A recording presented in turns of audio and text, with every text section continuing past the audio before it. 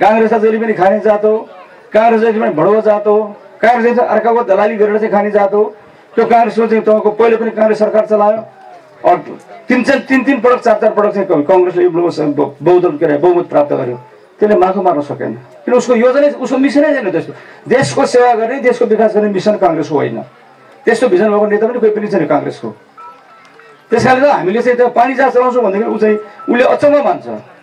हामीले रेल मार्ग चलाउँछौँ भनेदेखि उसले अचम्म मान्छ। यो सुरु मार्गको सुरुवात सुरुवात हुन पनि नेकपा एमाले सरकार बन्नु पर्यो। नेकपा एमाले सरकारमा आउनु पर्यो। विकास हाम्रो भिजन हुनु पर्यो। हाम्रो मिसन हुनु पर्यो। हामीसँग अठोट हुनु पर्यो। हामीसँग इमान्दारी त हुनु पर्यो। एभ्रिथिङ इज पोसिबल हरेक चिज सम्भव छ नेपालमा। हाम्रो जमिन यति धेरै उर्वरशील छ कि एउटा चरोले पिपलको गेडा खान्छ। त्यो पिपलको गेडो या काउन काउनु खान्छ या मकै खान्छ।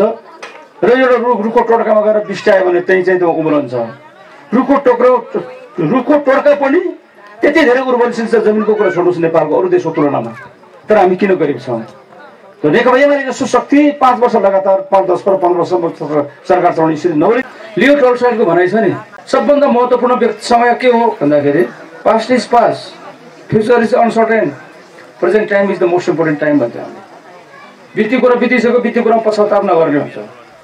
भविष्य भविष्यको कुरा चाहिँ अन्धकार छ के हो के थाहा हुनु अनिश्चित छ भविष्य तर आज चाहिँ जे हो आज आजकै समय महत्त्वपूर्ण त्यस कारण आजैको दिनमा भोलि सुध्रिनु भने सुख पाउनु आजको दिन हामी सुध्रिनु पऱ्यो हिजो क्रान्तिकारी कुरा गरेको त future is past is past त्यो त गइसक्यो लेट ब्यागन फि ब्यागन भन्छ अङ्ग्रेजीमा हुने हुन हामी गइसक्यो त्यो राम्रो भए पनि राम्रो भए पनि अब त्यस्तो फर्केर चाहिँ हाम्रो भविष्य बन्दैन हाम्रो जीवन चल्दैन त्यस कारण time present time is the most important time भन्छ वर्तमान समय नै सबभन्दा शक्तिशाली समय हो सबभन्दा महत्त्वपूर्ण समय हो त्यस आजको दिनमा हामीले मिसन ग्रासरुट अभियान पुरो गर्ने काम गर्नुपर्छ। भोलि गरौँ भन्ने कुरा हुँदैन।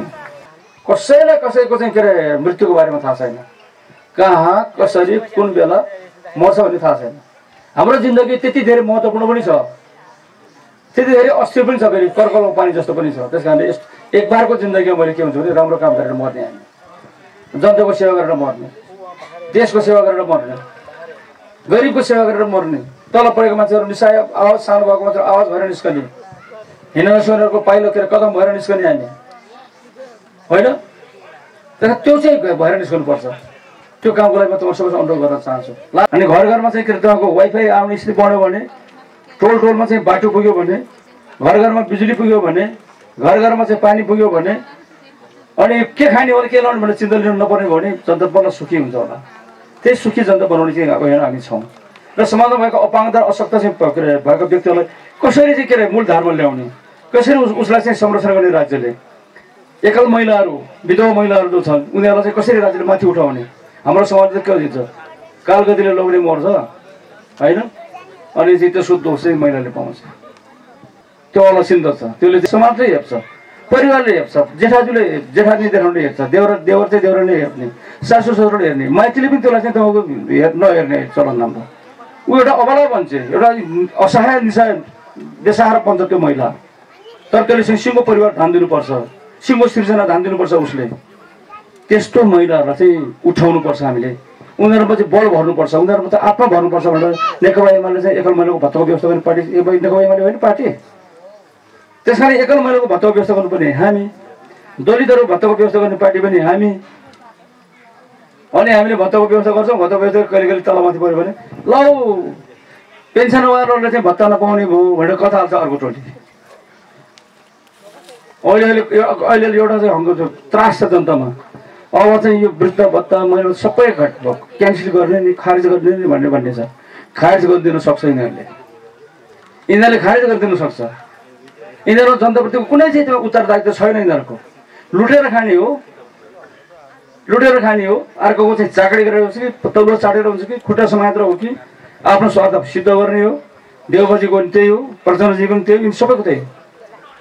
संसारको दसवटा सबभन्दा छिटो विकास गर्ने देशमा नेपाल चाहिँ के अरे समावेश थियो त्यो बेला हाम्रो पार्टी सरकार बेला मुलुकमा एक खालको चाहिँ के अरे चमत्कार सुरु भएको थियो। हाम्रो अन्ठाउन्न वर्षदेखि हाम्रो चाहिँ जमिन लिपु लिपु लेक लिम्पिया धुरो र काल काला पानी मिचेर बसेको हो भारतले। सुगोलीको सन्धि सन्धि अनुसार त्यो जमिन हाम्रो हो।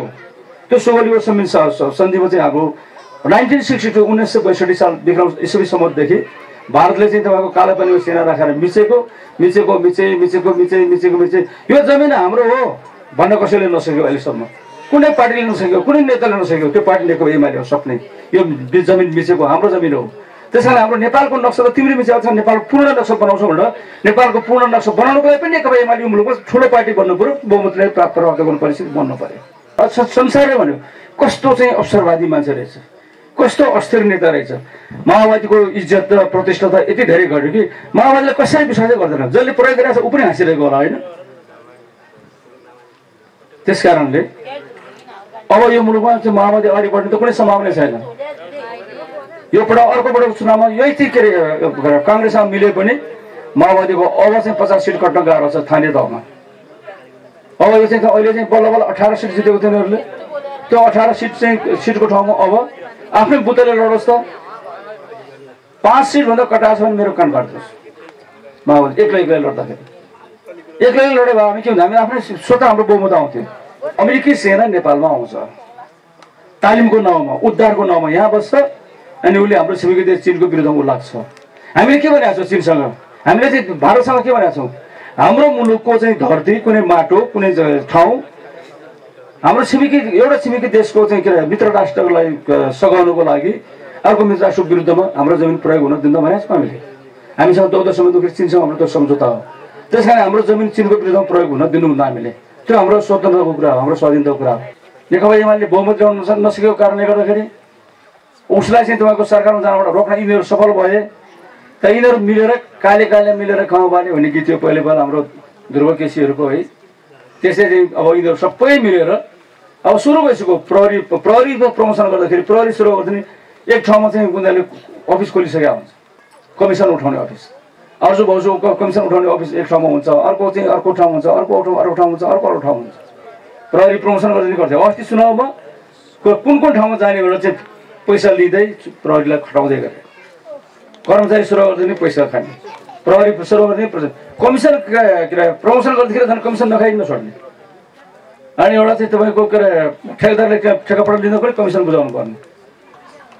कमिसनको घुसखोरी कमिसन त्यो अन्त्य गर्नको लागि पनि हाम्रो पार्टी बलियो नभइकन हाम्रो पार्टी सरकारमा नपुगिकन यो मुलुकमा सुशान्तको कुनै ढोको खोल्नेवाला छैन। तर सुशान्त ढोको नखोली चाहिँ जनताले सुख पाउँदैन घुस दिनु पऱ्यो घुस नदिकन काम हुँदैन काम छिटो पनि गर्दैन। त्यस कारणले गर्दाखेरि मुलुकमा चाहिँ सुशासन कायम गर्नको लागि पनि हाम्रो पार्टी चाहिने भयो। मुलुकको चाहिँ विकासको चाहिँ अभियान अगाडि बढाउनु पनि हाम्रो पार्टी चाहिने भयो। हामीले भनेका थियौँ। अनि त झोक्रिएर पानीको किनारा बस समुद्रको किनारा बसिरहेको कताबाट एउटा गिद्ध जटाएको चाहिँ उडेर आयो के भयो? किन चिन्ता लिएर बसेको? हेर म रामसँग यत्रो चाहिँ तपाईँको वचनबद्ध भएर आएको कसम खाएर आएको म जसरी लिएर आउँछु भनेर। ए पानी पानी समुद्रै समुद्र कसरी जाने? अब म के मुख भएर चाहिँ आइत्य फर्किने? त्यसलाई चिन्तित भएर बसेको हजुर। त लाटा। तेरो चाहिँ कति शक्ति छ भन्ने कुरो तैँले थाहा पाउँदैनस्? के? तँसँग त यति तेरो पाखुरामा यति बल छ कि यो सबै यो पर्वतै उठाउन सक्छ यो पाहाड चाहिँ उठाउन सक्छौ तिमीले। पाहाड उठाएर चाहिँ राख न त्यो खोलामा भनेपछि। पाहाडहरू उठाउँदै ल्याएर समुद्रमा राख्यो उठाएर ल्याएर समुद्रमा ल्याएको लग्ग जाने बाटो तयार सिधै लिएर आयो हनुमानलाई आफ्नो शक्तिको बारेमा थाहा छ थाहा रहन्छ नि त होइन। हनुमानलाई उसको शक्ति कति छ भने बताउनलाई जता आएपछि मात्रै उस आफ्नो समस्याबाट मुक्त भयो। यो चाहिँ पङ्क्ति पनि त्यस्तै हो। हामीले चाहिँ जनता पनि त्यस्तै हो। जनताले आफ्नो महिमा थाहा छैन आफ्नो शक्ति थाहा छैन। कति छ भनेर? त्यो जनता तेरो शक्ति यति छ भनेर सिकाउने हामी जस्तो नेताहरू हो। पार्टीका नेताहरू पार्टीका कार्यकर्ताहरू। त्यस कारण पार्टी चाहिन्छ भनेको। मुक्ति त्यस कारण जनताको मुक्ति मुक्तिदार जनता आफै हो। अस्सी वर्ष चाहिँ तपाईँको कमरे प्रधानले साठी दिन नपुग्दै कति ठुलो घात गर्यो त्यो मित्रघात गर्यो। हामीलाई पछाडिबाट छुरो रोप्यो उसले। हाम्रो भोटमा चाहिँ प्रधानमन्त्री बन्ने प्रधानमन्त्री भन्ने ढोका खोल्ने नगर्दा शेरबहादुर बनिसकेको थियो नि। फेसबुकमा हेर्दाखेरि त हाम्रो पार्टीमा नरहेको भन्ने बुझिन्छ। तर हाम्रो पार्टीमा लामो चाहिँ समय काम गरेर यो यहाँको विवाद मिलाउने कुरा पनि मसँग धेरै लामो कुराकानी गरेर एउटा सहमतिमा पुग्नु भएको। हाम्रो पा पार्टीको त्यतिखेर अध्यासन प्रणाली थिएन सचिव पनि भएर काम गर्नुभएको कमिटीको चण्डीस्थान गाउँ कमिटीको। गाविसको उपाध्यक्ष पनि हुनुभएको। कमरेड मेनबहादुर भण्डारी। आज हामी बिच हुनुहुन्न म पहिले उहाँप्रति भावपूर्ण श्रद्धाञ्जली व्यक्त गर्न चाहन्छु। उहाँको परिवारजनमा हार्दिक संवेदना व्यक्त गर्न चाहन्छु। र यो मिसन ग्रास रुट चाहिँ विगतको केही महिना अगाडिको स्थानीय तहको चुनाव र प्रदेश सभा र प्रतिनिधि सभाको चुनाव। जे खालको परिणाम चाहिँ हामीले प्राप्त गरेका छौँ त्यसमा चाहिँ हामीले आत्मसमीक्षा गर्न जरुरी देखिएको हुनाले र हाम्रो कमिटीभित्र धेरै प्रकारका समस्याहरू देख्न थालेको हुनाले सायद चाहिँ हामीले नौ राष्ट्रिय महाधिवेशनदेखि यस्तो खालको कार्यक्रम पनि नगरेको हुनाले। पार्टी कमिटी पार्टी मान्छे पार्टी एकदमै धेरै धेरै ठुलो भयो पार्टी विस्तार पनि भयो। पार्टी नभएको चाहिँ कुनै गाउँ कुनै गाउँ गाउँपालिका छैन कुनै नगरपालिका छैन। अर्थात् दुईजना नेपाली जहाँ जहाँ छ संसारको विभिन्न मुलुकमा त्यहाँ एमाले छ। एमाले यति धेरै विस्तार भयो। तर त्यो विस्तार भएको पार्टीले पनि यो सबै पार्टीलाई पराजित गठबन्धनलाई पराजित गरेर एक्लै चाहिँ सिङ्गल सिङ्गल मेजोरिटी ल्याउने चाहिँ ठाउँमा अझै पनि आइपुगेका रहेछौँ यो पनि हामीलाई समीक्षा गर्नु छ किन त्यस्तो भयो? राष्ट्रिय शक्तिको रूपमा विकास किन गर्न नसक्यो एमाले? विकास गर्नुपर्ने स्थिति बन्यो। त्यस कारणले चाहिँ यो स्थानीय तहको चुनावमा चाहिँ हामीले मैले धेरै ठाउँमा भन्ने गरेको छु। बयासीवटा सिट हाम्रो आन्तरिक चाहिँ झगडाका कारणले हाम्रो पार्टीभित्र देखा परेको अवसरवादका कारणले या अराजक चाहिँ प्रवृत्तिका कारणले हामीले गुमाउनु पर्यो। गठबन्धन त छँदै थियो हाम्रो विरुद्धमा होइन। शत्रुहरू एकजुट भएकै थिए। त्यो शत्रुहरू एकजुट हुँदाखेरि पनि हाम्रो चाहिँ के हिम्मत थियो भने हामी पहिलो पार्टी हुन सक्छौँ। हामीले विगतको चाहिँ के अरे स्थानीय तहको चुनावमा जति सिट हासिल गरेका छौँ त्योभन्दा बढोत्तरी गर्न सक्छौँ हामी। यो विश्वासका साथ हामीले केन्द्रीय कमिटीमा चाहिँ निर्णय गरेर धेरै ठाउँमा चाहिँ हामीले यो चाहिँ स्थानीय चुनावको अभियान सुरु गरेको हो। तर स्थानीय चुनावमा चाहिँ आउँदा आउँदा बयासी सिट किन गुम्यो? अब हामीले त भनेको व्यक्ति ठुलो कि कमिटी ठुलो भन्दाखेरि कमिटी ठुलो नेता ठुलो कि नीति ठुलो भन्दाखेरि नीति ठुलो? कम्युनिस्टको सिद्धान्त के हो भने तपाईँले बुझेको। बुर्जुहरू पुँजीपतिहरूको पार्टीले भन्छ नेता ठुलो नीति ठुलो सानो हो भन्छ। कम्युनिस्टहरूले नीति ठुलो चाहिँ नेता सानो भन्छ। अर्थात् नेताभन्दा नीति ठुलो हो। अर्थात् व्यक्तिभन्दा सङ्गठन ठुलो हो। अर्थात् कुनै नेताभन्दा पार्टी ठुलो हो। पार्टीभन्दा माथि नेता छैन। हाम्रो विधानभन्दा माथि कोही छैन। यो सिद्धान्त हो नि हाम्रो पार्टी सङ्गठन परिचालनको होइन? तर अहिले चाहिँ के देखियो भनेदेखि पार्टीको केन्द्रीय कमिटीले पार्टीको हेडक्वार्टरले निर्णय गर्यो। फलाना पालिकाको फलाना अध्यक्ष फलाना नगरको फलाना प्रमुखको उम्मेदवार हाम्रो पार्टीको तर्फबाट। या हामीले अख्तियार चाहिँ तल दिएर जिल्ला कमिटीको सिफारिसमा प्रदेश कमिटीले निर्णय गर्यो। वडा कमिटीहरू या पालिका कमिटीको सिफारिसमा चाहिँ जिल्ला कमिटीले कतिपय निर्णय गर्यो। कमिटीले निर्णय गरिसकेपछि पार्टीले निर्णय गरिस गरिसकेपछि चित्त नबुझ्न सक्छ नि। कोही चित्त बुझाउने हुन्छ कोही चित्त नबुझाउने हुन्छ। कोहीको त्यही निर्णय मनपर्ने हुन्छ कोही मन मन नपर्ने हुन्छ। त्यसो गरेर त बहुमत र अलमत भनेको। अनि पार्टीले एकपटक चाहिँ निर्णय गरिसके पछाडि अब सबै कुरा चाहिँ निशर्त रूपमा पालना गर् गर्छु भनेर शपथ खाएका हामी कम्युनिस्टहरू। पार्टीको गोपनीयता कायम राख्छौँ पार्टीको एकता कायम गर्छु। पार्टीको चाहिँ के अरे नीति र विधान र कार्यक्रमलाई म निशर्त रूपमा पालना गर्छु भनेर सबैले शपथ खाएको छ।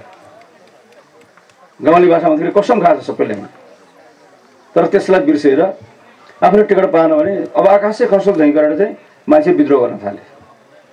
विपक्षीसँग मिलेर पैसा खान्छ। विपक्षीसँग मिलेर हाम्रो चाहिँ भित्रका कुराहरू चाहिँ सटुवटा पुऱ्याउन थाल्यो।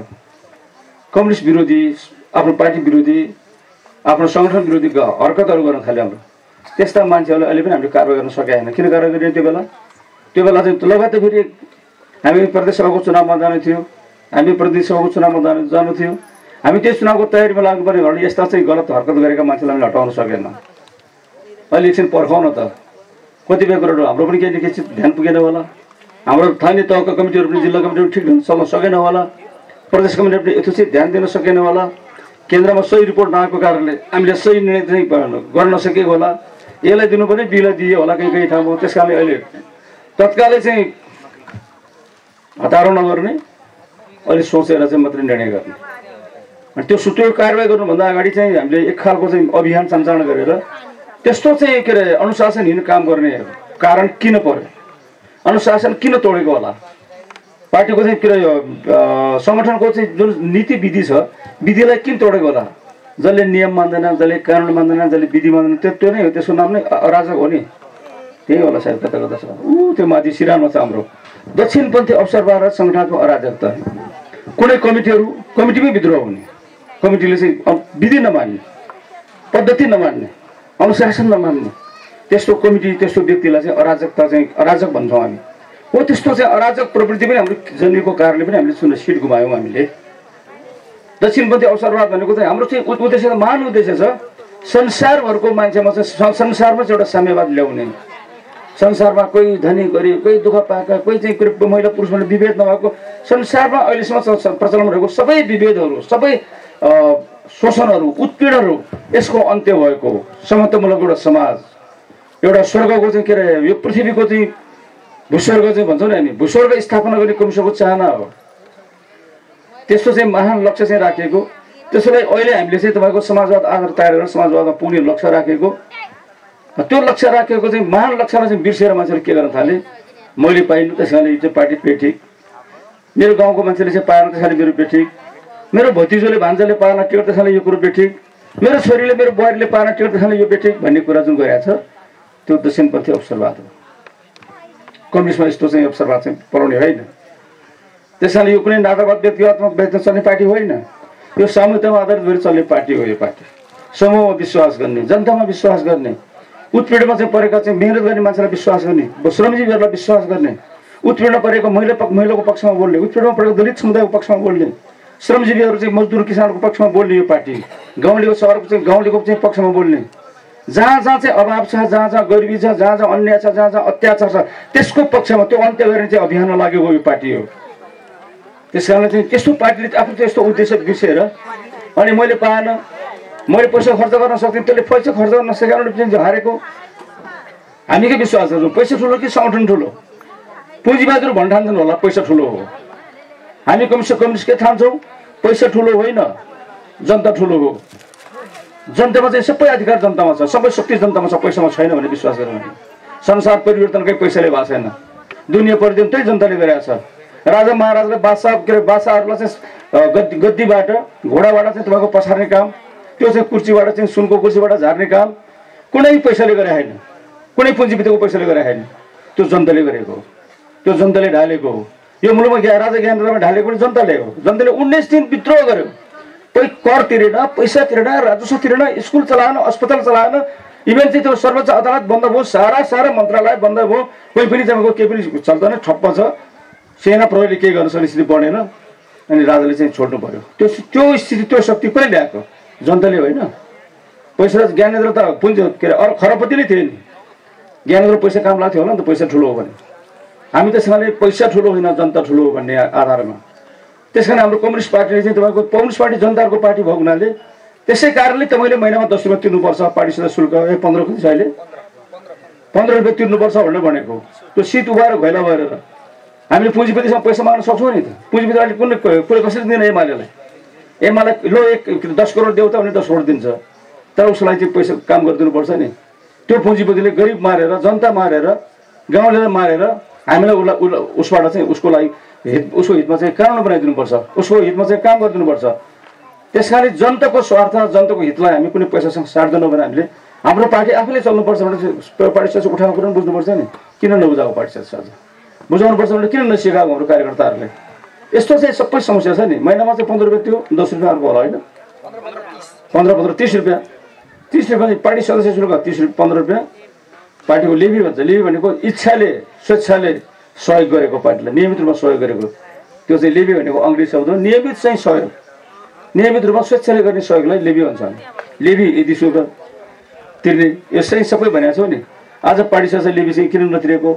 पार्टी सदस्य किन के अरे नतिरेको अथवा नदिएको या चाहिँ त्यो उठाउन किन नगएको तिनीहरूलाई कन्भिन्स गर्ने कुरा किन नगएको नगरेको यसले गर्दाखेरि सङ्कट पैदा भयो।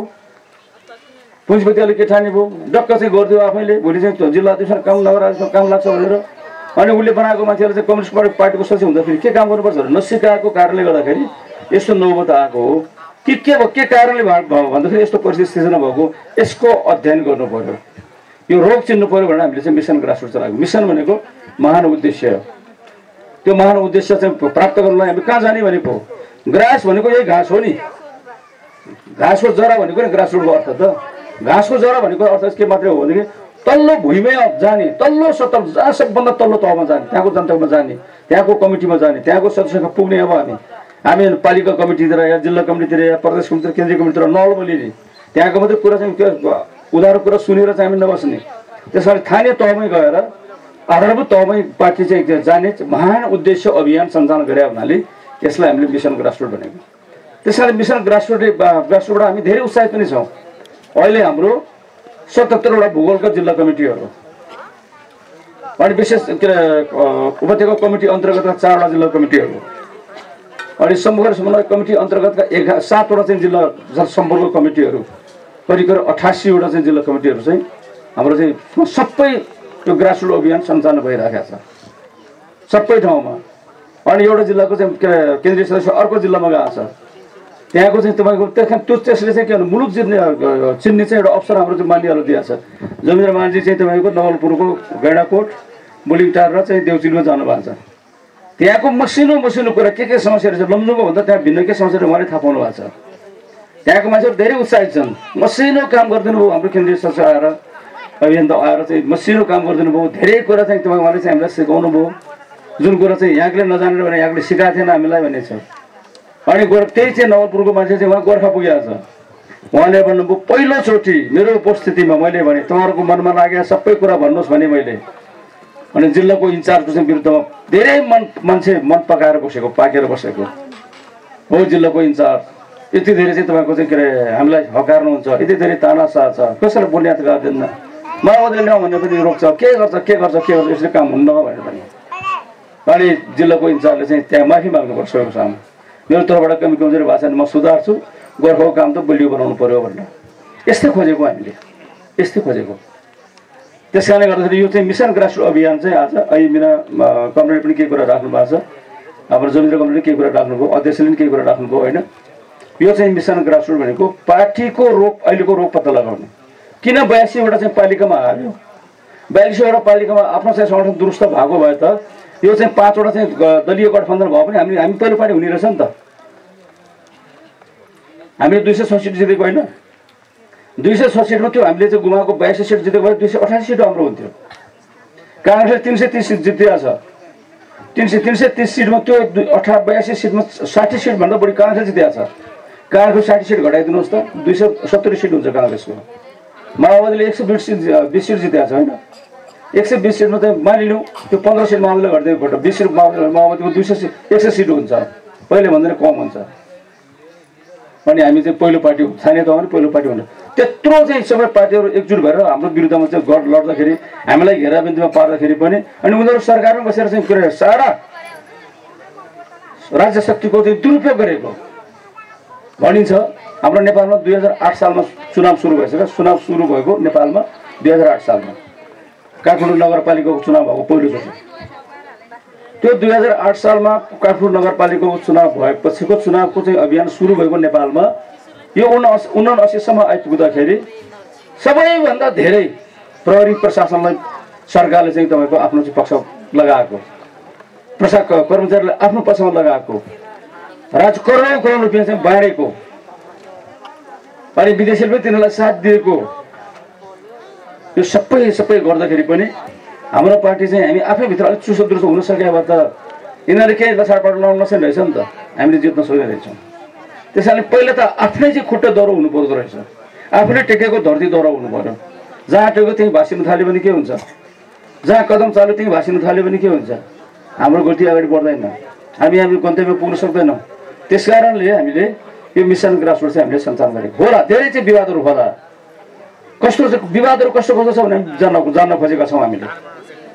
नातावाद खरिवाद कस कतिको हाबी भएको छ व्यक्तिगत आकर्षण कतिको हाबी भएको छ लोभ लालच पापीहरू कतिको जन्मिएका छन् विकृति विश्वमति कति कस्तो कस्तो ठाउँमा छ कस्तो कुन कुन प्रकारको छ अनुशासन तोड्ने कुराहरू कहाँ कहाँ भएको छ त्यो कोकलले तोडेको छ अब माफी दिन्न हाम्रो चाहिँ अभियानले फैसला गर्यो यसले अपराध गरेको हो।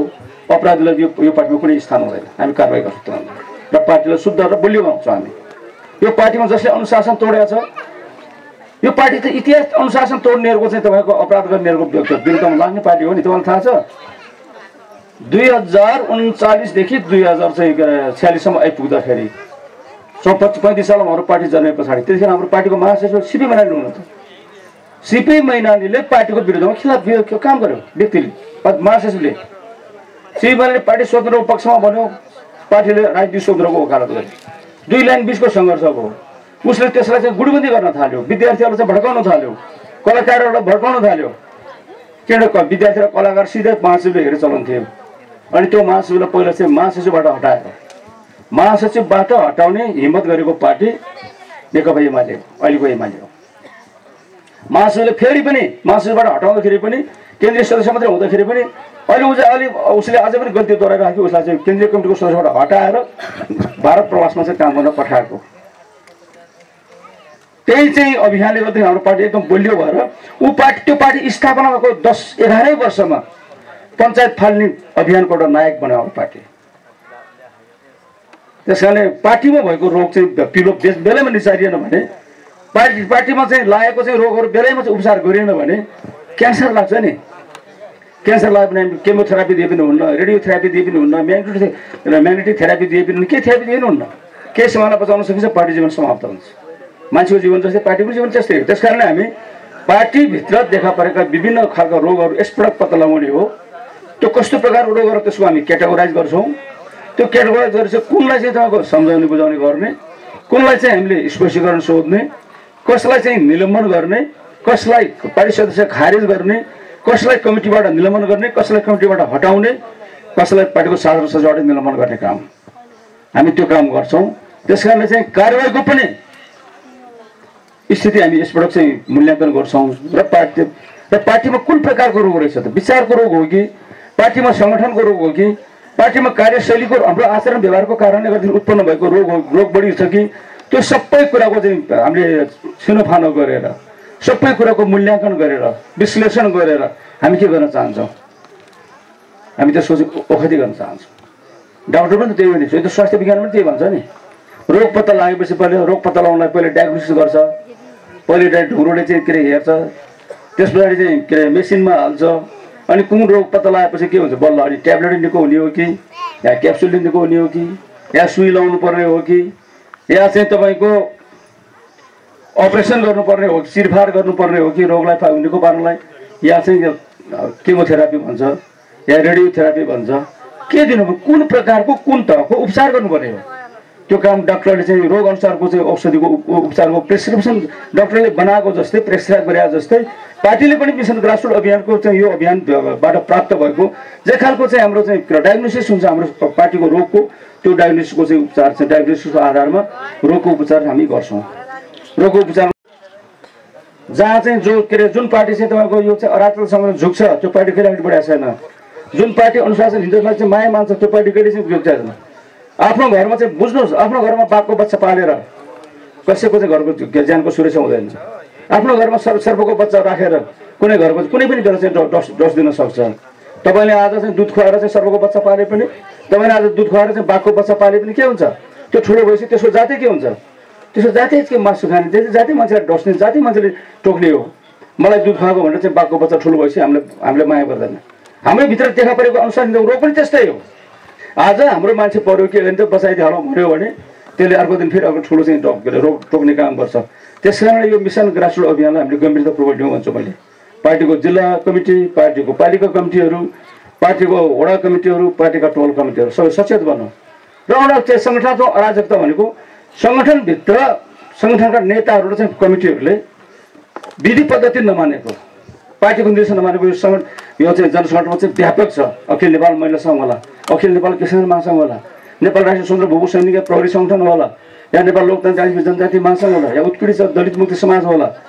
या चाहिँ प्रेस चौतारी नेपाल हो भर्खरै भन्नुभयो तपाईँले। या बुद्धिजीवी परिषद होला। यस्ता यस्ता धेरै तेइसवटा जनसङ्गठन छन् हाम्रा। त्यो तेइसवटा जनसङ्गठनभित्र पनि एकदमै ठुलो अराजकता छ। आफूलाई मन लागेको मान्छेहरू चाहिँ बोस बन्ने ने लिडर नहुने। नेता नहुने अनि के अरे डन हुने नेताहरू। डनबाट चाहिँ आफ्नो आफ्नो मान्छे तयार गर्ने। त्यसलाई त्यस्तो चाहिँ अनुशासन तोड्ने चाहिँ काम जहाँ भएको छ त्यसलाई हामी यथोचित कारवाही गर्छौँ। त्यसैले यो महाधिवेशन गरेर अधिवेशनहरू गरेर हामीले त्यो कुरो सच्याउने काम त गरेका छौँ होइन? तर यसबाट पनि सचिएन भने तिनीहरूको यथोचित कारवाही हामी गर्छौँ अब। अब त्यस कारणले यो सबै काम मिसन ग्रासरुटको काम अभियानको काम चाहिँ को लागि समीक्षा गर्ने हामीले मिति नै तोकेका छौँ। चार र पाँच गते हाम्रो पोखरामा गण्डकी प्रदेशको समीक्षा हुन्छ। हामी हेड क्वार्टरको मान्छेहरू पनि आउँछौँ। हाम्रो हरेक हाम्रो एकजना एकजना उपाध्यक्ष हाम्रो चाहिँ सात र प्रदेशमा हुनुहुन्छ। त्यसमा त्यही त्यो प्रदेश इन्चार्जहरू त्यही पनि उहाँलाई सहयोग गर्न बस्नु भएको छ। अरू केन्द्रीय सदस्यहरू जिल्ला जिल्ला खटाइ खटाएको छ भने पालिका पालिका देखाएर। त्यस कारण त्यस पछाडि छ र सात गते चाहिँ लुम्बिनी प्रदेशको समीक्षा हुन्छ। त्यसबाट दस र एघार गते हामी सुदूरपश्चिम प्रदेशको समीक्षा गर्छौँ हामी। होइन? बाह्र र तेह्र गण्डकी प्रदेशको चाहिँ समीक्षा गर्छौँ चार र पाँच कर्णाली प्रदेशको गर्छौँ हामी। त्यस पछाडि बाह्र तेह्र चौध र पन्ध्र हामी मध्य प्रदेशको समीक्षा गर्छौँ। सोह्र र सत्र हामी के अरे कोशी प्रदेशको चाहिँ समीक्षा गर्छौँ। त्यस पछाडि हामी अठार अठार गते हामी मे दिवस के अरे मई दिवस मनाउँछौँ। नौ गते हामी पार्टी स्थापना दिवस मनाउँछौँ। उन्नाइस र बिस हामी फेरि चाहिँ बागमती प्रदेशको चाहिँ के समीक्षा गर्छौँ। त्यस पछाडि हामी दुई दिन लगातार एउटा सम्पर्क समन्वय कमिटीको एक दिन अनि विशेष उपत्यका कमिटीको एउटा दिन एक दिन चाहिँ हामी समीक्षा गरेर समीक्षा सबै प्रदेशको समीक्षा सङ्कलन गरेर हामी हेड क्वार्टरमा बसेर पार्टी केन्द्रीय कार्यालय बसेर हामी त्यसको समीक्षा गर्छौँ त्यसको मजबुत निकाल्छौँ त्यसको आधारमा केन्द्रीय कमिटीको बैठक डाक्छौँ केन्द्रीय कमिटीको बैठक त्यसको एउटा चाहिँ एउटा चाहिँ के अरे उपचारको एउटा प्रबन्ध गर्छौँ। विशाल ग्रासबाट प्राप्त चाहिँ भएका अनुभवहरू सफलताका कुराहरू कथाहरू के के छन् त्यो पनि जोड्छौँ हामी। असफलताका कथाहरू के छ के छ त्यो पनि जोड्छौँ हामी। कारवाहीका कथाहरू के के छन् त्यो पनि जोड्छौँ त्यो गर्छौँ हामी कारवाही पनि गर्छौँ। के के सुझाव आउँछ होइन? र त्यसभित्र हामीले दुई तिनवटा कुरा पनि भनेको छौँ मिसन ग्रासरुटमा खालि पार्टी सदस्य नवीकरण गर्ने कुरा मात्रै छैन। खालि सङ्गठन निर्माण गर्ने कुरा मात्रै होइन। त्यहाँभित्र त्यहाँभित्र जनसङ्गठनलाई व्यवस्थित गर्ने कुरा पनि छ। त्यहाँभित्र हामीले सोधेका छौँ त्यो चाहिँ वडाको जनता जनताको समस्या के के हुन्छ एक दुई तिन। मूलभूत रूपमा उनीहरूको पहिलो प्राथमिकता के भन्छ? बाटो बनाएको छ कि पानी बनाएको छ कि पुल बनाएको छ कि स्कुल बनाएको छ कि स्वास्थ्य चौकी बनाएको छ कि के बनाएको छ? हामीले कुनै पनि बेला चाहिँ सरकारमा जान सक्ने हामी प्रतिपक्षमा बस्दा पनि सरकारलाई चाहिँ दबाब दिइरहने एउटा पार्टीको हैसियतले मुलुक बनाउने एउटा पार्टीको हैसियतले मुलुक कस्तो छ प्रत्येक वडाहरूको समस्या के के छ हामी सङ्कलन गर्न खोजेँ हामी यही विषय राष्ट्र मार्फत। त्यस कारण तपाईँहरूको वडाले पनि तिनवटा कुराहरू मूलभूत तपाईँहरूको प्राथमिकता कुरा। पहिलो नम्बरमा चाहिँ समस्या के? दोस्रो समस्या समस्या के? तेस्रो समस्या के? यो पनि सङ्कलन गर्ने। यो पनि हामीले गर्नुपर्ने काम कामभित्र पर्छ भने अर्को हामीले यो बेला पनि भनेका छौँ। ती अवसर अवसरवादीहरू ती महत्वाकांक्षीहरू ती लोभीपापीहरू ती अनुशासन तोडे तोड्नेहरूलाई त हामी सँगै बुझाइ गर्छौँ सकभर। ओखति दिन के अरे मुलुक खुवाउँछौँ हामी। त्यसैले पनि निको गरेन भने साइनार दिन्छौँ तिनीहरूलाई हामीले। कारवाहीको साइनार खुवाउनु पर्ने अनि त्यस पछाडि चाहिँ हामी के गर्छौँ भनेदेखि अर्को यस बेला चाहिँ हामीले यो योग्य र क्षमतावान युवक चाहिँ के अरे कार्यकर्ताहरूको हन्ट गर्ने भन्छ नि अङ्ग्रेजीमा। त्यो खोजी गर्ने। कुन कुन जिल्लामा कुन कुन पालिकामा को को मान्छे अब चाहिँ अबको नेता हुनसक्छ हाम्रो? भोलिको पालिकाको क्यान्डिडेटहरू हुनसक्छ। जिल्ला कमिटीको चाहिँ योग्य मान्छेहरू पालिका कमिटी योग्य मान्छेहरू को को हुनसक्छ? त्यसलाई कसरी चाहिँ पार्टीले चाहिँ तपाईँको माया गर्ने? कसरी त्यसलाई हुर्काउने? कसरी त्यसलाई चाहिँ त्यसलाई चाहिँ तपाईँको गुरुङ गरेर कसरी अगाडि बढाउने भन्ने कुरा हाम्रो यसभित्र प्लानिङ हो। त्यस कारणले यो पोटेन्सियल चाहिँ कार्यकर्ताको हन्ट गर्ने चाहिँ अभियान पनि हो यो अभियान। त्यस कारणले म अभियानमा आउनुभएको केन्द्रीय कम्युनिस्ट सदस्यहरूलाई म भन्न चाहन्छु। र त्यो अभियान चाहिँ हाम्रो उपाध्यक्षदेखिले सबैलाई थाहा छ।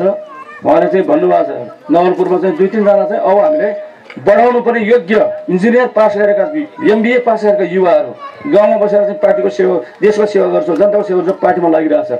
तिनलाई अब हामी पिकअप गर्छौँ हामी। तिनलाई हामी प्रमोसन गर्छौँ हामी। प्रोत्साहन गर्छौँ। घिसेपिटे कुराकानी मात्रै गरेका छ रोगी कुराकानी गरे मात्रै गरेका छ।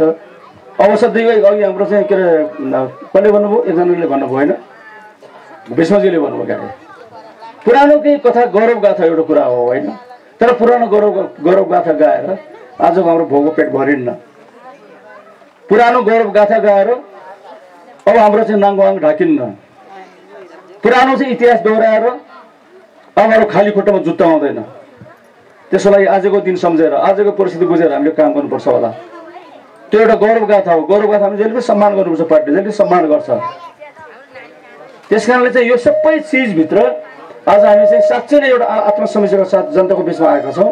तपाईँलाई यो अभियानलाई सफल पार्न सबैले सहयोग गरिदिनु होला। यति कुरा राख्यौँ मैले खाएर अब विकासको काम चाहिँ विकासको कुरा अबको हाम्रो पार्टी कमिटीको हरेक एजेन्डामा विकासको काम हुनैपर्छ जनताको चाहिँ एजेन्डा हुनैपर्छ पार्टी सदस्य शुल्क उठाउने चाहिँ मिटिङभित्र पनि एउटा एजेन्डा चाहिँ हुनुपर्छ हाम्रो। जनताको समस्या समस्या के छ? जनताले भोगिरहेको समस्या के छ? सिडिओले चाहिँ दुःख दिएछ दिएको छैन? नागरिकता पाउने मान्छेले नागरिकता नदिएर दुःख दिइरहेछ कि? सानो नाम चाहिँ बिग्रेको या जन्ममितिको चाहिँ सानो पाटो बिग्रेको कारणले गर्दाखेरि उसले चाहिँ नागरिकता नपाएर दुःख पाइरहेछ कि? यो साह्रो अवसरबाट वञ्चित भएको छ कि? हामी पुग्नु पऱ्यो त्यहाँ। जहाँ जनता दुःख पाउने जनता त्यहाँ नेकपा एमाले। जहाँ सङ्कट त्यहाँ नेकपा एमाले। जहाँ विपद त्यहाँ नेकपा एमाले। जहाँ विकास छ जहाँ अविकास त्यहाँ नेकपा एमाले जहाँ अन अवन्नति त्यहाँ नेकपा एमाले जहाँ भ्रष्टाचार त्यहाँ नेकपा एमाले पुगेर त्यसको चाहिँ अन्त्यको लागि चाहिँ हामीले काम गर्नुपर्छ किनभने हामी जनताको पार्टी हो हामीले बुझेको के छ भने जनता र चाहिँ नेकपा एमालेको बिचको सम्बन्ध नङ्ग्र मासुको सम्बन्ध हुनु पर्यो जनताबाट अलग थलग भएको चाहिँ कुनै के अरे सिजीले काम गर्दैन जनताबाट अलग थलग भएको जनतामा नबुझेको जनतामा नगएको त्यस्तो चाहिँ धेरै ठाउँ देखिन्छ हाम्रो पनि। यो बुर्जुवा पार्टीहरूको अभ्यास हो। चुनावमा आउने ठुल्ठुलो कुरा गरिदिने पैसा बाँडिदिने मासु खुवाइदिने अनि यस्तो कुरा गर्छ उसो उसो गर्छ भनेर भनिदिने। हजारौँजना जो बेरोजगारमा एकजना रोजगार रोजगार दिन्छ रोजगार दिइदिने अनि जनतालाई बोल्ने पाँच वर्ष जान परेन। अनि पाँच वर्षपछि आज फेरि त्यस्तै हरकत गर्छ। यो बुर्जुहरूको शैली हो। यो पुँजीवादीहरूको शैली हो। यो अहिले त अब सामन्ती अवशेषवादीहरूको चाहिँ शैली हो यो। या चाहिँ तपाईँ गणतन्त्र लोकतन्त्र चाणक्यहरूको शैली हो। त्यस कारण हामीले के भनेको भनेदेखि जनताको बिचमा गइराख्नु पर्यो। जनताहरू महान छन् भन्ने कुरो बुझ्नु पर्यो। यिनीहरूले नै हामीलाई यो ठाउँमा पुर्याएको पनि बुझ्नु पर्यो। जनताले भोट हालेर चाहिँ हामीले चाहिँ एकाउन्न सालमा सरकार नबनाएको भए कम्युनिस्ट पार्टी यति सब लोकप्रिय हुने थिएन भनेर त्यो बुझ्नु पर्यो हामीले। जनताहरू महान छन्। त्यस कारण महान जनताहरूको चाहिँ पिरमा हामी जहिले पनि समाज त्यही बस्नुपर्छ। त्यस कारण हामीले भनेको मास बेस कम्युनिस्ट पार्टी बनाउनु पर्यो। हामी बुर्जुवासँग अभ्यास गर्दैछौँ नि। काङ्ग्रेससँग हामी लामो काल छ्यालिस सालको परिवर्तन गर्नको लागि काङ्ग्रेससँग मिलेको हामी आजसम्म काङ्ग्रेसमै काम गरिरहेका छौँ। कहिले विरोध आम्ने सामने गरेर काम गरेका छौँ कहिले काङ्ग्रेसमा मिलेर पञ्चायत फालेका छौँ कहिले काङ्ग्रेस मिलेर राजा फालेका छौँ कहिले काङ्ग्रेस मिलेर संविधान बनाएका छौँ कहिले काङ्ग्रेसमा मिलेर चाहिँ हामीले चाहिँ यो के अरे त्यस कारणले अब चाहिँ हामीले के गर्नुपर्ने छ भने विकासको एजेन्डा हाम्रो ठुलो एजेन्डा हो त्यो त्यही विकासको एजेन्डा पुरा गर्नुको लागि कम्युनिस्ट पार्टी बोली हुनुपर्छ भने हामी त्यो अभियान विशेष अभियान छौँ अहिले हामी होइन? तर अब हाम्रो चाहिँ जनताको समस्या कहाँनिर छ अहिलेसम्म हामीले जनताको समस्या अझै र मसिनोसँग बुझ्न छैन सिडिओले कहाँ दुःख दिइरहेछ जिएसपीले कहाँ दुःख दिइरहेछ। हाम्रो पालिकामा हाम्रो चाहिँ पालिकाको कर्मचारीले कहाँ दुःख दिइरहेछ। त्यो पनि हाम्रो एजेन्डाभित्र हुनुपर्छ। जनतासँग जनताको हरेक सुख दुःखमा सहभागी भएको पार्टी। जनताको हरेक सुख दुःखमा चाहिँ समस्याको समाधान गर्न लागि हिँडेको पार्टी। हाम्रो नेताहरू त्यही रूपमा स्थापित हुनुपर्छ। कोडको चाहिँ फेरो ढल्काएर कहिले कहिले चाहिँ के अरे बर्खामा दुईपल्ट चाहिँ गाउँमा आउने नेता एक एमालेको नेता हुन पाउँदैन। सक्दैन पनि। त्यसले पार्टी बोली पनि बनाउँदैन। जनताको बिचमा आइराख्ने जनताको बिचमा खाइराख्ने जनताको बिचमा उठबस गर्ने जनताको समस्या सबै बुझ्ने अनि त्यसो त्यसो हो भने के हुन्छ जनताले हामीलाई विश्वास गर्छ। जनताले हामीलाई विश्वास नगरेजेलसम्म तपाईँले हामीले भनेको कुरा जनताले मान्दैन। त्यस कारणले जनताले हामीले भनेको कुरा मान्न गराउनको लागि हामीलाई चाहिँ के अरे हामीप्रतिको जनताको विश्वास बढाउनको लागि जनताको हरेक दुःखमा हामी उपस्थित हुने। हाम्रो कोही मान्छे बिरामी भने त्यो बिरामीको उपचार कसरी गर्ने भन्ने कुरो सिङ्गो चाहिँ सङ्गठन सिङ्गो पङ्क्ति लाग्नु पऱ्यो। हामी राज्यको राज्यमा जाँदाखेरि त राज्यको तहबाट गराउँ राज्यमा नजाँदाखेरि हामी सङ्गठनले गर्नुपर्दाखेरि त्यो चाहिँ तह तहको काम गर्नु पऱ्यो। हामीले हाम्रो चाहिँ एउटा उद्देश्य छ नि त समृद्ध नेपाल सुखी नेपाली भनेको छौँ। त्यो त्यसै मन लागेर भनेको कुरोहरू हामीले कतै कसैलाई झुक्याउन भनेको कुरो भएर समृद्ध नेपाल किन? गरिब नेपाल किन गरिब भइरह्यो? नेपालको स्रोत साधन यति धेरै छ हामीले नेपाललाई चाहिँ तपाईँको विकास गर्न सक्छौँ। किनभने म मैले तपाईँहरूसँग एउटा चाहिँ मेरो यात्राको अनुभव पनि सेयर गर्न चाहन्छु। म युरोपको धेरै देश घुमेको छु अमेरिका पुगेको छु म क्यानाडा पुगेको छु र एसियाको धेरै चाहिँ विक- विकासशील देश जापान भयो सिङ्गापुर भयो होइन? मलेसिया भयो कोरिया भयो सबै ठाउँमा घुमेको छु नि। म युरोपमा जाँदाखेरि एउटा कुरा के अचम्म मानेको भनेदेखि अलि जाडो याममा पुगेको होइन। यता हेऱ्यो भने पानीको ताल छ हिउँ परेर हिउँ जमेको छ। यता पनि हिउँ पानी पानी पानी जमेको ताल छ अर्को पनि पानी जमेको ताल छ। हरियो बोर्ड एउटा देखिँदैन हरियो खेत चाहिँ एउटा पनि देखिँदैन होइन? अनि तिमीहरूको चाहिँ के अरे आम्दानी कति छ? प्रति व्यक्ति आम्दानी कति छ भनेको? डेनमार्कमा गएर सोधेको उसले भन्छ हाम्रो सतासी हजार छ भन्छ सतासी हजार डलर। अनि यता के अरे अन्ठाउन्न हजार डलर डेनमार्क। उता नर्वेमा गएर सोधे फिनल्यान्डमा गएर सोधेको हाम्रो सतासी हजार डलर छ भन्छ सिङ्गापुरमा जाँदाखेरि हाम्रो बयानब्बे हजार के अरे बाहन्न हजार डलर छ भने सिङ्गापुर त्यतिखेर हाम्रो नेपालको छ सय डलर थियो। हेर्दाखेरि केही देखिँदैन वन पनि देखिँदैन जङ्गल पनि देखिँदैन पानी पनि छैन देखिँदैन भित्र तल चाहिँ खानी छ भने पनि सुनिँदैन। तर जल जमिन जङ्गल भन्छ नि त्यो खाल केही छैन। बाह्र महिनामा चाहिँ नौ महिना हिउँ पर्ने ठाउँ छ। तिन महिनाभित्र खेतीपाती गरेर चाहिँ निर्वाह गर्नुपर्ने छ त्यो तिन महिनाभित्र उत्पादन गर्ने आलु र गहुँ बाहेक अरू छैन। तर तिनीहरू त्यत्रो सतासी हजार उनीहरूले आम्दानी कसरी पुर्यायो? हामी छ सय सतासी सय होइन छ सयमा कसरी बसौँ हामी? नेपालमा चाहिँ के अरे माटो नभएर हो। नेपालको जङ्गल नभएर हो। नेपालको पानी नभएर हो। नेपालमा खानी नभएर हो त। सबै चोक भएर पनि हामी कङ्गाल किन भयो भने हामीले मती लिएन हाम्रो पञ्चायतले राजा राजाले चाहिँ सबै त्यो दोहोएर खायो। जनताको विकासमा उसले ध्यान दिएन। यहाँ चाहिँ तपाईँको खानी चाहिँ उत्खनन गरेर चाहिँ तपाईँको खानी खानी खानी खन्ने काम पनि गरेन। खानीहरू खोल्ने काम पनि गरेन।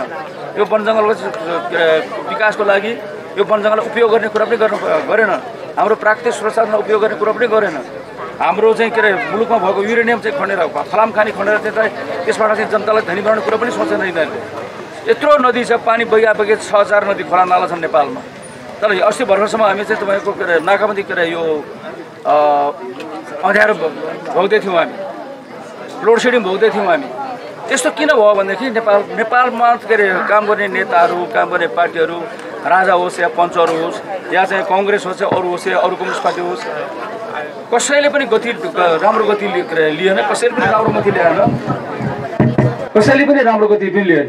कसैले राम्रो र गति बिग्रेका नभएका पार्टीका नेताहरू राजा महाराजाहरू त्यस कारणले गर्दाखेरि प्राकृतिक रूपमा स्रोत र साधन सम्पन्न भएर पनि कहिले कहिले हामी भन्छौँ नि शिरको के अरे सुनको डस्नामाथि सुतेका कङ्गाल नेपालीहरू भनेको उखान छ नेपालमा। त्यो भने के भन्दाखेरि तल हेर्दाखेरि सबै हामीले टेकेको ठाउँमा चाहिँ त्यो हिरा पनि त्यही छ युरेनियम पनि त्यही छ तामा त्यही छ फलाम त्यही छ होइन? तर हामी किन गरेँ सुने सुनको कहानी हाम्रो मर्सादी नदी गुरु भाषा त मार्स्यो भने हो नि यसो नाम सुनको नदी भने हो। मर्सादी अहिले पनि छान्यो भने के अरे सुन चाहिँ त्यो निस्किन्छ त्यो त्यो उत्खनन गर्ने कुरो कहिले सोचेको छ हामीले? बत्ती वा मुस्ताङमा बत्ती बोलिरहेका छ। दिल्लीमा बत्ती बोलिरहेका छ। त्यो बत्ती बत्ती भनेको भगवान् बोलेको हामी हामी चाहिँ के अरे पूजा गर्छौँ। त्यो त ग्यास बोलेको। तल त ग्यासको खानी छ। म दैलेखमा जाँदाखेरि के हो थाहा छ एउटा खोला छ सानो। त्यो खोलामा चाहिँ हामीले कोटेर चाहिँ यसो पानीमा हाल्यो भने सलाई त्यो पानी झलल्ल चाहिँ बल्छ। नदीको पानीमा पनि चाहिँ तपाईँको ग्यास बगिरहेछ। त्यो कति हजार वर्षदेखि त्यो ग्यास बगिया बगिया चाहिँ खेर गइरहेको छ। त्यसलाई चाहिँ नेपाली मोती ल्याएन। त्यसको लागि पनि नेकपा एमाले आउनु पर्यो यो मुलुकमा। नेकपा एमालेको सरकार बन्नु पर्यो। अहिले चाइनिजहरू ल्याएर त्यहाँ उत्खनन हुँदैछ त्यहाँ उत्खनन हुँदैछ। यो हाम्रो नवलपुरको धोवादी नौ किलोमिटर चाहिँ डाँडा चाहिँ सबै फलामै फलाम छ त्यहाँभित्र। फलाम छ भने पत्ता लाग्यो त्यहाँको फलाम खाने उत्खननलाई बल्ल चाहिँ हामीले काम सुरु गरेका छौँ। त्यो फलाम खाने चाहिँ खन्नको लागि पनि नेकपा एमाले एमाले सरकारमा आउनु पर्यो। मुस्ताङमा रोमनथामा युरेनियमको खानी छ। मकवानपुरमा युरेनियमको खानी छ। युरेनियम चाहिँ एक ग्राम युनियम युरेनियम एक ग्राम। एक ग्राम भनेको दस ग्रामको एक तोला हुन्छ होइन? साह्रै सानो कुरा। थोरै कुरा। सानो एक ग्राम। एक ग्राम युरेनियमको खरबौँ रुपियाँ पर्छ। जसले चाहिँ तपाईँको संसारै जस ध्वस्त पार्न चाहिँ बमहरू बनाउनु बनाउन सक्छ त्यसले। त्यस्तो चाहिँ के अरे धातुको खानी हाम्रो मुलुकमा छ। आजसम्म त्यसको उत्खनन गरेका छन्। त्यसको उत्खननलाई हामीले काम सुरु गरेका छौँ। त्यस कारणले हाम्रो मुलुकमा भएको खानीहरूको उत्खननको लागि पनि नेकपा एमाले जन्मनु पर्यो नेकपा एमाले सरकारमा पुग्नु पर्यो नेकपा एमालेको प्रधानमन्त्री बन्नु पर्यो नेकपा एमालेको योजना आयोग बन्नु पर्यो नेकपा एमालेको अर्थमन्त्री बन्नु पर्यो अनि बल्ल त्यो कुराहरू अगाडि बढाउन सक्यो होइन। खानी उत्खनन गर्ने कुरा हो। नेपालको वन जङ्गलको उपयोग गर्ने कुरामा अझै पनि हामी ठोस नीति अझै पनि ल्याउन सकेका छैन। ठोस नीति अहिले पनि हामीले ल्याउन सकेका छैन। हाम्रो जमिन यति धेरै उर्वरशील छ कि एउटा चरोले पिपलको गेडा खान्छ त्यो पिपलको गेडो या काउन काउनु खान्छ या मकै खान्छ? र एउटा रुख रुखको टोड्कामा गएर बिस्ट्यायो भने त्यहीँ चाहिँ त्यो उम्रन्छ रुखको टोक्रो रुखको टोड्का पनि त्यति धेरै उर्वरशील छ जमिनको कुरा छोड्नुहोस् नेपालको अरू देशको तुलनामा। तर हामी किन गरिब छौँ? नेकपा एमाले जस्तो शक्ति पाँच वर्ष लगातार पाँच दस वर्ष पन्ध्र वर्षसम्म सरकार चलाउने स्थिति नवरिन्जेलसम्म यो मुलुकको दुर्दशा यस्तै हुन्छ। काङ्ग्रेस त जहिले पनि खाने जात हो। काङ्ग्रेस जहिले पनि भडुवा जात हो। काङ्ग्रेस अर्काको दलाली गरेर चाहिँ खाने जात हो। त्यो काङ्ग्रेसको चाहिँ तपाईँको पहिले पनि काङ्ग्रेस सरकार चलायो? और तिन चार तिन तिन पटक चार चार पटक चाहिँ कङ्ग्रेसले बहुदल के अरे बहुमत प्राप्त गर्यो। त्यसले माखो मार्न सकेन। किन उसको योजना उसको मिसनै छैन त्यसको देशको सेवा गर्ने देशको विकास गर्ने मिसन काङ्ग्रेसको होइन। त्यस्तो भिजन भएको नेता पनि कोही पनि छैन काङ्ग्रेसको। त्यस कारणले हामीले चाहिँ त्यो पानी जहाज चलाउँछौँ भनेदेखि ऊ चाहिँ उसले अचम्म मान्छ। हामीले रेल मार्ग चलाउँछौँ भनेदेखि उसले अचम्म मान्छ। यो सुरु मार्गको सुरुवात सुरुवात हुन पनि नेकपा एमाले सरकार बन्नु पर्यो। नेकपा एमाले सरकारमा आउनु पर्यो। रेल मार्ग अलिक बन्दैछ तराईतिर बन्दैछ हाम्रो पार्टी सरकारमा आएपछि यो अमलेगञ्जसम्म चाहिँ तपाईँको भारतबाट चाहिँ हाम्रो के अरे भारतको बरेलीतिरबाट ग्यासको पाइपलाइन तेलको पाइपलाइन त्यहाँसम्म आयो। अहिले हामी ब- चार सय पाँच सय सात सय हजार चौध पन्ध्र सय किलोमिटर चाहिँ पर चाहिँ विशाखापट्टनम जाने उता चाहिँ कलकत्ता जानु पर्दैन अब हामी। हाम्रो पेट्रोल ट्याङ्करहरूले त्यही त्यो अप्लाई गर्दा तेल भर्ने चाहिँ अवसर मिल्यो। त्यो गर्न सकिँदो रहेछ नि त किन नगरेको? जनकपुरमा रेलवे चलाउने यो बर्दिवासम्म रेल ल्याउने काम पनि हामी सरकार आउँछ बल्ल रेल आयो। सुनकोसीमा चाहिँ पानी चाहिँ चलिरहेछ। नारायणघाट नारायणमा चाहिँ ल्यान्ड क्रुजर के चलिरहेछ। सानो सानो वाटर ट्याङ्कतिर चलिरहेछ। विकास हाम्रो भिजन हुनु पर्यो हाम्रो मिसन हुनु पर्यो हामीसँग अठोट हुनु पर्यो हामीसँग इमान्दारी त हुनु पर्यो एभ्रिथिङ इज पोसिबल हरेक चिज सम्भव छ नेपालमा। हामी हामी सरकारमा हुँदाखेरि चाहिँ तपाईँको सात पर्सेन्ट आर्थिक वृद्धि दर हामी अर्को वर्ष कोभिड नलाग्दा हामी दस पर्सेन्ट आर्थिक वृद्धि दर हासिल गर्ने भनेको दस पर्सेन्ट आर्थिक वृद्धि दर भनेको दस वर्षमा अहिलेभन्दा सयौँ गुणा चाहिँ विकास भनेको त्यो भनेको। हामी त्यो कुरो पुऱ्याउने ठाउँमा नेपालमा थियौँ। नेपालमा सबै लगानीकर्ताहरू आएर लगानी गर्न चाहिँ थालेको थियो। दस संसारको दसवटा सबभन्दा छिटो विकास गर्ने देशमा नेपाल चाहिँ के अरे समावेश थियो त्यो बेला हाम्रो पार्टी सरकार बेला मुलुकमा एक खालको चाहिँ के अरे चमत्कार सुरु भएको थियो। हाम्रो अन्ठाउन्न वर्षदेखि हाम्रो चाहिँ जमिन लिप लिपु लेक लिम्पिया धुरो काल काला पानी मिचेर बसेको हो भारतले। सोगलीको सन्धि सन्धि अनुसार त्यो जमिन हाम्रो हो। त्यो सोगलीको सन्धि सन्धिमा चाहिँ हाम्रो नाइन्टिन सिक्सटी टू उन्नाइस सय बैसठी साल विक्रम इस्वी सम्मदेखि भारतले चाहिँ तपाईँको काला पानीको सेना राखेर मिचेको मिचेको मिचे मिचेको मिचे मिचेको मिचे यो जमिन हाम्रो हो भन्न कसैले नसक्यो अहिलेसम्म। कुनै पार्टीले नसक्यो कुनै नेताले नसक्यो त्यो पार्टी नेकपा एमाले हो सक्ने। यो जमिन मिचेको हाम्रो जमिन हो। त्यस कारण हाम्रो नेपालको नक्सा त तिमीले मिचेको छ नेपाल पूर्ण नक्सा बनाउँछौ भनेर नेपालको पूर्ण नक्सा बनाउनुको लागि पनि नेकपा एमाले मुलुकमा ठुलो पार्टी बन्नु पऱ्यो बहुमतले प्राप्त प्राप्त गर्नु परिस्थिति बन्नु पऱ्यो त्यस कारणले देश बचाउनुको लागि पनि नेकपा एमाले ठुलो पार्टी नभएको सुख छैन। अस्ति भर्खर चाहिँ तपाईँको कमरेड प्रधानले साठी दिन नपुग्दै कति ठुलो घात गर्यो त्यो मित्र घात गर्यो। हामीलाई पछाडिबाट छुरा रोप्यो उसले। हाम्रो भोटमा चाहिँ प्रधानमन्त्री बन्ने प्रधानमन्त्री भन्ने ढुङ्गा खोल्ने त शेरबहादुर बनिसकेको थियो नि। अनि हामीले उसलाई प्रधानमन्त्री बनाउने। प्रधानमन्त्री भएको चाहिँ के अरे दुई महिना भएको छैन उसले। प्रधानमन्त्री कुर्सीमा बसिहाल्यो काङ्ग्रेस तत्काल झार्न सक्दैन भन्ने भयो भनेर फेरि काङ्ग्रेसमा मिल्यो। इन्डियाले के भन्यो होला अमेरिकाले के भन्यो होला सारा देशले के भन्यो? एमसिसी अब कार्यान्वयन गर्नुपर्छ। एसपिपी अब कार्यान्वयन गर्नुपर्छ। यो चाहिँ नागरिक विधेयक अब लागू गर्नुपर्छ। होइन? अमेरिकी सेना नेपालमा आउँछ। तालिमको नाउँमा उद्धारको नाउँमा यहाँ बस्छ।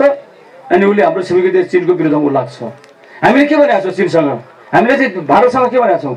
हाम्रो मुलुकको चाहिँ धरती कुनै माटो कुनै ठाउँ हाम्रो छिमेकी एउटा छिमेकी देशको चाहिँ के अरे मित्र अ, सघाउनुको लागि अर्को मित्र राष्ट्रको विरुद्धमा हाम्रो जमिन प्रयोग हुन दिन भनेको छौँ हामीले।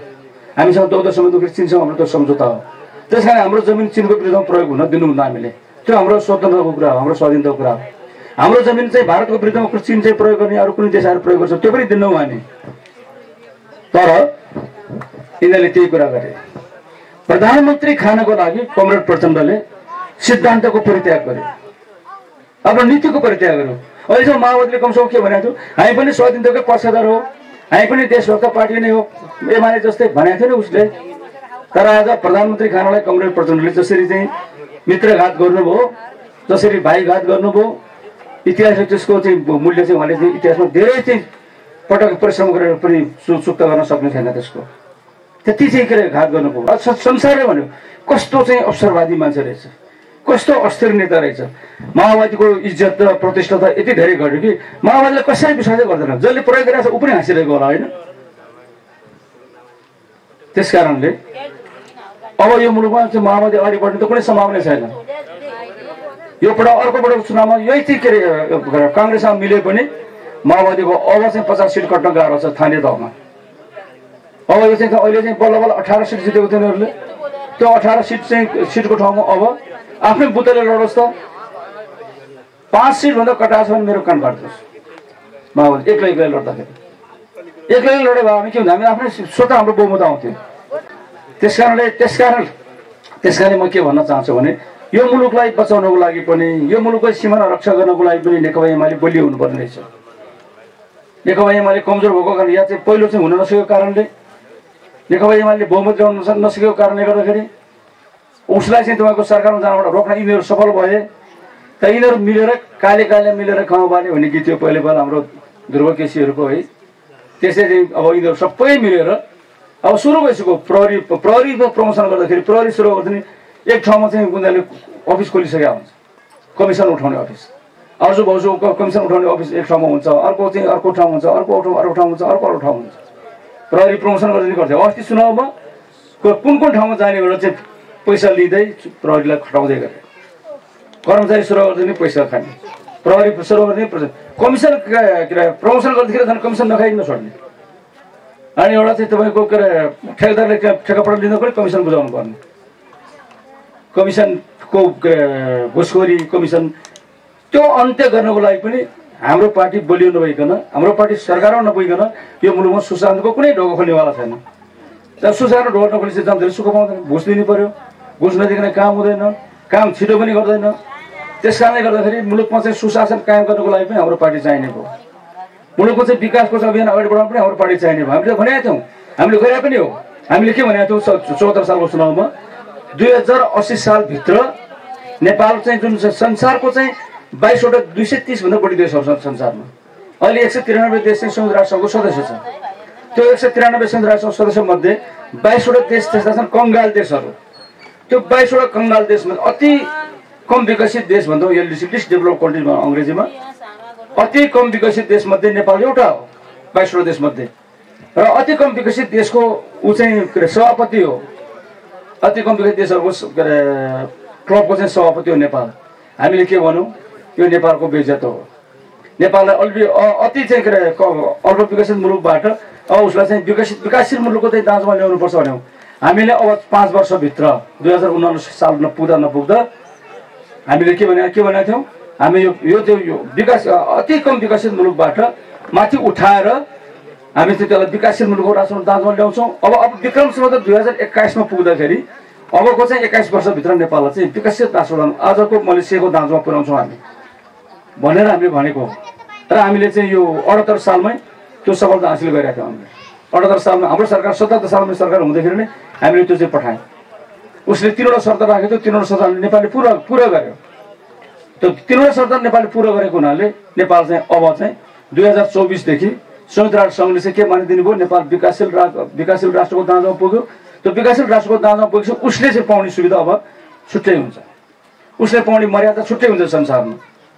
अब सम्भवतः हाम्रो नागरिकताको चाहिँ के अरे त्यो स्ट्यान्डर्ड पनि फेरिन्छ होला। त्यस कारण यस्तो चाहिँ के अरे मुलुकलाई बचाउने बचाउनको लागि मुलुकको चाहिँ यो अविकासबाट मुलुकलाई विकासमा चाहिँ माथि पुर्याउन पनि नेकपा एमाले बलियो हुन्छ। नेकपा एमालेको सरकार चाहियो। अनि हामीले चाहिँ के अरे धेरै कुरा गरे गर्नु परेन। हामीले के भन्यौँ? सन् प्रत्येक चाहिँ नेपालीको घर घरमा धारा पुग्नु पर्यो अब करिब अन्ठाउन्न लाख घरधुरी छ नेपालमा। अन्ठाउन्न लाख घरधुरी चाहिँ भित्र घरधुरी प्रत्येक घरधुरीमा पानीको धारा पुर्याउने हाम्रो अभियान हो। अठाउन्न लाख घरधुरीमा सबै ठाउँमा चाहिँ बिजुली पुर्याउने हाम्रो अभियान हो। जनताको घर घरमा बिजुली पुर्याउनु पनि नेकपा एमालेको सरकार चाहिन्छ। जनताको घर घरमा धारा पुर्याउनु पनि नेकपा एमालेको सरकार चाहिन्छ। जनताको वडा वडामा टोल टोलमा बाटो बनाउनु पनि नेकपा एमालेको सरकार चाहिन्छ। त्योभन्दा अगाडि त एउटा निर्वाचन क्षेत्रमा एउटा सडक बनाउनु पऱ्यो प्रत्येक पालिको सदरमुकाममा बाटो बनाउनु पऱ्यो अनि प्रत्येक पालिको सदरमुकाममा बाटो पुऱ्याउनुको लागि प्रत्येक चाहिँ निर्वाचन क्षेत्रमा एउटा सडक बनाउनुको लागि पनि नेकपा एमालेको सरकार आउनु पऱ्यो अरू कसैले गरेर हामीले अभियान सुरु गरेका छौँ हाम्रो अभियानलाई अहिले उनीहरूले रोकिरहेको छ अवरोध गरिरहेको छ प्रत्येक चाहिँ पालिकामा एउटा अस्पताल चाहियो हामीले तिन सय छ्यानब्बे अस्पतालको एकैजना शिलान्यास गरेको होइन बाँकी सात सय त्रिपन्नवटा अरू किन नगरे होला भन्ने तपाईँको कौतूहल होला होइन त्यसमा मेरो भनाइ के मात्रै छ भने अरू ठाउँमा चाहिँ अस्पताल बनाउने जग्गा प्राप्त गर्ने प्रक्रिया पुरा नभएको हुनाले अब उनीहरू अहिले त कति ठाउँ पुरा हुन्थ्यो होला अहिलेसम्म हामीले चाहिँ सात सय त्रिपन्नवटा अस्पताल बनाउन सुरु गर्थ्यौँ होला।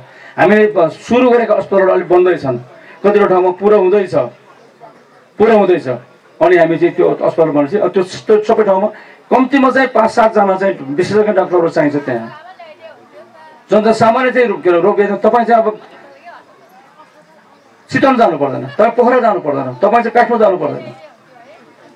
केही विशेषज्ञ सिकाहरू चाहिँ हामीले पोखरामा गरेबाट पोखरामा क्यान्सर अस्पताल खोल्ने काम गरिरहेका छौँ हामी। अरू मुटुको चाहिँ किडनी फेर्ने अस्पताल पनि त्यहीँ गऱ्यो भनेको छौँ। जिल्ला जिल्लामा चाहिँ हाम्रो सरकार हुने बेलामा सबै मृगौला चाहिँ रोगीहरूको लागि डायलिसिस सेन्टर जिल्ला जिल्ला अस्पतालमा स्थापना गऱ्यौँ हामीले। हुँदो रहेछ त गऱ्यो भने? मैले धेरै अरबौँ खर्च गरे पनि होइन। आज मनाङ र मुस्ताङ बाहेक नौवटै जिल्ला अस्पतालहरूमा हाम्रो यो चाहिँ मृगौला रोगीहरूको चाहिँ डायलिसिस गर्ने चाहिँ सुविधा हामीले दिएका छौँ। हाम्रो चाहिँ यो रोगहरू लाग्दाखेरि सबै ठाउँमा चाहिँ जाँच्ने ल्याबहरू चाहिँ प्रयोगशालाहरू स्थापना गरेका छौँ हामीले कोभिड लाग्दाखेरि नेपालमा चाहिँ त्यही त्यो टेकोको चाहिँ अस्पताल बाहेक कुनै एउटा एउटा ल्याब थिएन नेपालमा। अहिले करिब चाहिँ तपाईँको प्रायः सयभन्दा बढी ल्याबहरू स्थापना गरिसकेका छौँ यो चाहिँ कोभिडको बेलामा हामीले हाम्रो सरकारबाट। त्यसै हामीले भनेको छौँ नि सुखी नेपाली समृद्ध नेपाल भने सुखी नेपाली किन कुन बेला सुखी हुन्छ नेपाल? नेपाली कुन बेला सु सुखी हुन्छन्? हामीले भनेको एउटा मान्छे जन्मिन्छ। जन्मि जन्मेपछि उसलाई उसको जीवनभरि औषधि मुलुकको ग्यारेन्टीको कुरा उपचारको ग्यारेन्टीको सर- सरकारले आफू जन्मेपछि या चाहिँ छोराछोरी जन्माएपछि मेरो छोराछोरी आफू बिरामी हुन्छ कहाँ उपचार गर्ने होला? कहाँ जाने होला? के गर्ने होला? कुन जग्गा कुन बेच्ने होला? ब्याङ्कको ब्यालेन्स छ भने ब्याङ्क ब्यालेन्स कहिले कति निकाल्ने होला भनेर चिन्ता लिनु नपर्ने। रोग लागेपछि रोगको चाहिँ के अरे अ, स्थिति अनुसार रोगको स्तर अनुसार सबै चाहिँ त्यो जनतालाई चाहिँ बचाउने जिम्मा लिने सरकार हाम्रो सरकार हो। अनि त्यसरी मात्रै जुनसुकै रोग लागे पनि जहाँ उपचार गराउनु पऱ्यो भने आफूले चिन्ता लिनु नपर्ने एउटा परिवारलाई चिन्ता लिनु नपर्ने। त्यसको चाहिँ सबैको दायित्व सरकारले बिहोर्ने त्यस्तो चाहिँ के अरे सरकार समाजवादको आधार तयार गर्ने भनेको त्यही होला अहिले नाफामा चल्ने सबै अस्पताल चाहिँ बिस्तार बिस्तार चाहिँ अर्को ठाउँमा पठाइदिने। त्यो त्यो सरकारी अस्पतालमा परिणत गर्ने त्यसलाई ट्रस्टको रूपमा चलाउने। अनि त्यो जनताको चाहिँ त्यसकारणले दुःख बिमार हुँदाखेरि अ, मेरो उपचार कसरी गर्ने होला भनेर चाहिँ चिन्ता लिनु नपर्ने भएपछि जनताहरू सुखी हुन्छन् भन्ने हाम्रो अनुमान हो। छोराछोरी जन्मियो हाम्रो। कहाँ पढाउने होला कुन ठाउँमा पढाउने होला कति पढाउने होला के विषय पढाउने होला भनेर चिन्ता लिनै नपर्ने। हाम्रो छोराछोरीको दिमाग अनुसार हाम्रो छोराछोरीको रुचि अनुसार पढाइको सम्पूर्ण प्रबन्ध गर्ने सरकार चाहियो हामीलाई। त्यो सरकार नेकपा एमालेको सरकार मात्रै हुन्छ। त्यो सरकारको अवस्था भनेको समाजवादको आधार तयार गर्ने भनेको त्यो त्यहाँ भनेको छ। जनताको बहुल्यजनवादको चाहिँ के अरे मार्गदर्शनमा समाजवादको आधार तयार गर्ने। आज शिक्षा स्वास्थ्यको सबै प्रबन्ध भयो भने होइन? अनि घर घरमा चाहिँ के तपाईँको वाइफाई आउने स्थिति बढ्यो भने टोल टोलमा चाहिँ बाटो पुग्यो भने घर घरमा बिजुली पुग्यो भने घर घरमा चाहिँ पानी पुग्यो भने अनि के खाने होला के लाउने भनेर चिन्ता लिनु नपर्ने भयो भने जनता बल्ल सुखी हुन्छ होला। त्यही सुखी जनता बनाउने चाहिँ यहाँ हामी छौँ। र समाजमा भएको अपाङ्गता अशक्त चाहिँ भएको व्यक्तिहरूलाई कसरी चाहिँ के अरे मूलधारमा ल्याउने कसरी उस- उसलाई चाहिँ संरक्षण गर्ने राज्यले? एकल महिलाहरू विधवा महिलाहरू जो छन् उनीहरूलाई चाहिँ कसरी राज्यले माथि उठाउने? हाम्रो समाजले के दिन्छ कालगतिले लौने मर्छ होइन? अनि चाहिँ त्यसको दोष चाहिँ महिलाले पाउँछ। त्यो अलक्षिन्त छ। त्यसले चाहिँ बिहा गरेर त्यो त्यो लोग्ने टोकी। लोग्ने टोकुवा भन्ने अपराध आउँछ अनि त्यसलाई समाजले हेप्छ। परिवारले हेप्छ। जेठाजुले जेठाजी देखाउने हेर्छ देवर देवर चाहिँ देवरले हेर्ने सासु ससुरले हेर्ने। माइतीले पनि त्यसलाई चाहिँ तपाईँको हेर नहेर्ने चलन राम्रो ऊ एउटा अबला मान्छे एउटा असहाय निशा बेसहारा बन्छ त्यो महिला। तर त्यसले चाहिँ सिङ्गो परिवार ध्यान दिनुपर्छ। सिङ्गो सिर्जना ध्यान दिनुपर्छ उसले। त्यस्तो महिलाहरूलाई चाहिँ उठाउनुपर्छ हामीले। उनीहरूमा चाहिँ बल भर्नुपर्छ। उनीहरूमा चाहिँ आत्मा भर्नुपर्छ भनेर नेकपा एमाले चाहिँ एकल महिलाको भत्ताको व्यवस्था गर्ने पार्टी नेकपा एमाले होइन पार्टी? त्यस कारण एकल महिलाको भत्ताको व्यवस्था गर्नुपर्ने हामी। दलितहरूको भत्ताको व्यवस्था गर्ने पार्टी पनि हामी। अनि हामीले भत्ताको व्यवस्था गर्छौँ भत्ताको व्यवस्था कहिले कहिले तलमाथि पऱ्यो भने लौ पेन्सनवालाहरूले चाहिँ भत्ता नपाउने भयो भनेर कथा हाल्छ अर्को टोली अहिले अहिले अहिले एउटा चाहिँ त्यो त्रास छ जनतामा। अब चाहिँ यो वृद्ध भत्ता मैले सबै घट क्यान्सल गर्ने नि खारिज गर्ने नि भन्ने भन्ने छ खारिज गरिदिन सक्छ यिनीहरूले। यिनीहरूले खारिज गरिदिन सक्छ। यिनीहरू जनताप्रति कुनै चाहिँ त्यो उत्तरदायित्व छैन यिनीहरूको। लुटेर खाने हो। लुटेर खाने हो। अर्कोको चाहिँ चाकडी गरेर हुन्छ कि तल्लो चाटेर हुन्छ कि खुट्टा समातेर हो कि आफ्नो स्वार्थ सिद्ध गर्ने हो। देवबाजीको पनि त्यही हो प्रचण्डजीको पनि त्यही हो यिनी सबैको त्यही हो।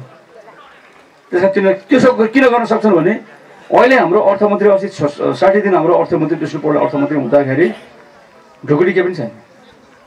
रित्याइसकेको ढुकुटी सब दलाल पुँजीपतिलाई पोस्दा पोस्दा पोस्दा सकियो।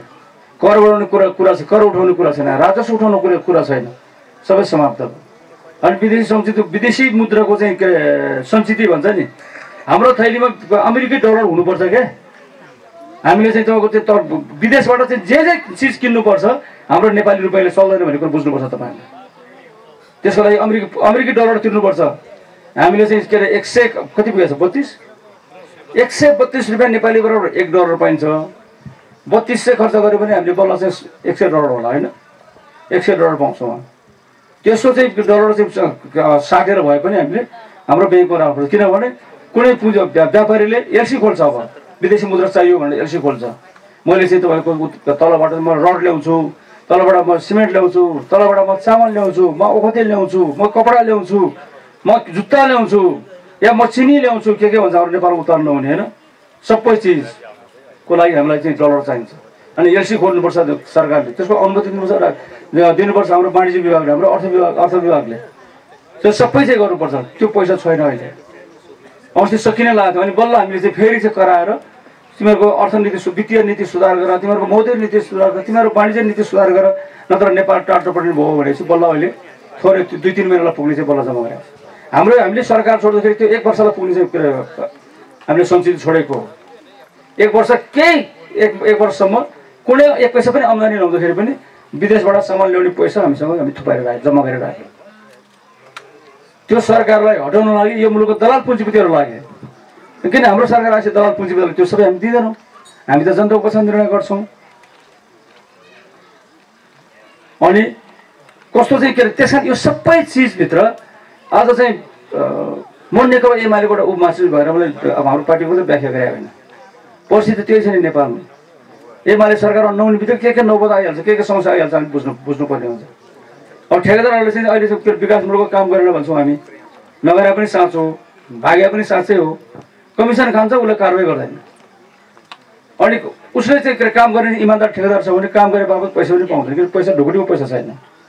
कर्मचारीलाई तलब खानको लागि अलिक यिनीहरूले चाहिँ रासिनबाट ओभरड्राफ्ट निकालेर दिनुपर्ने स्थिति छ।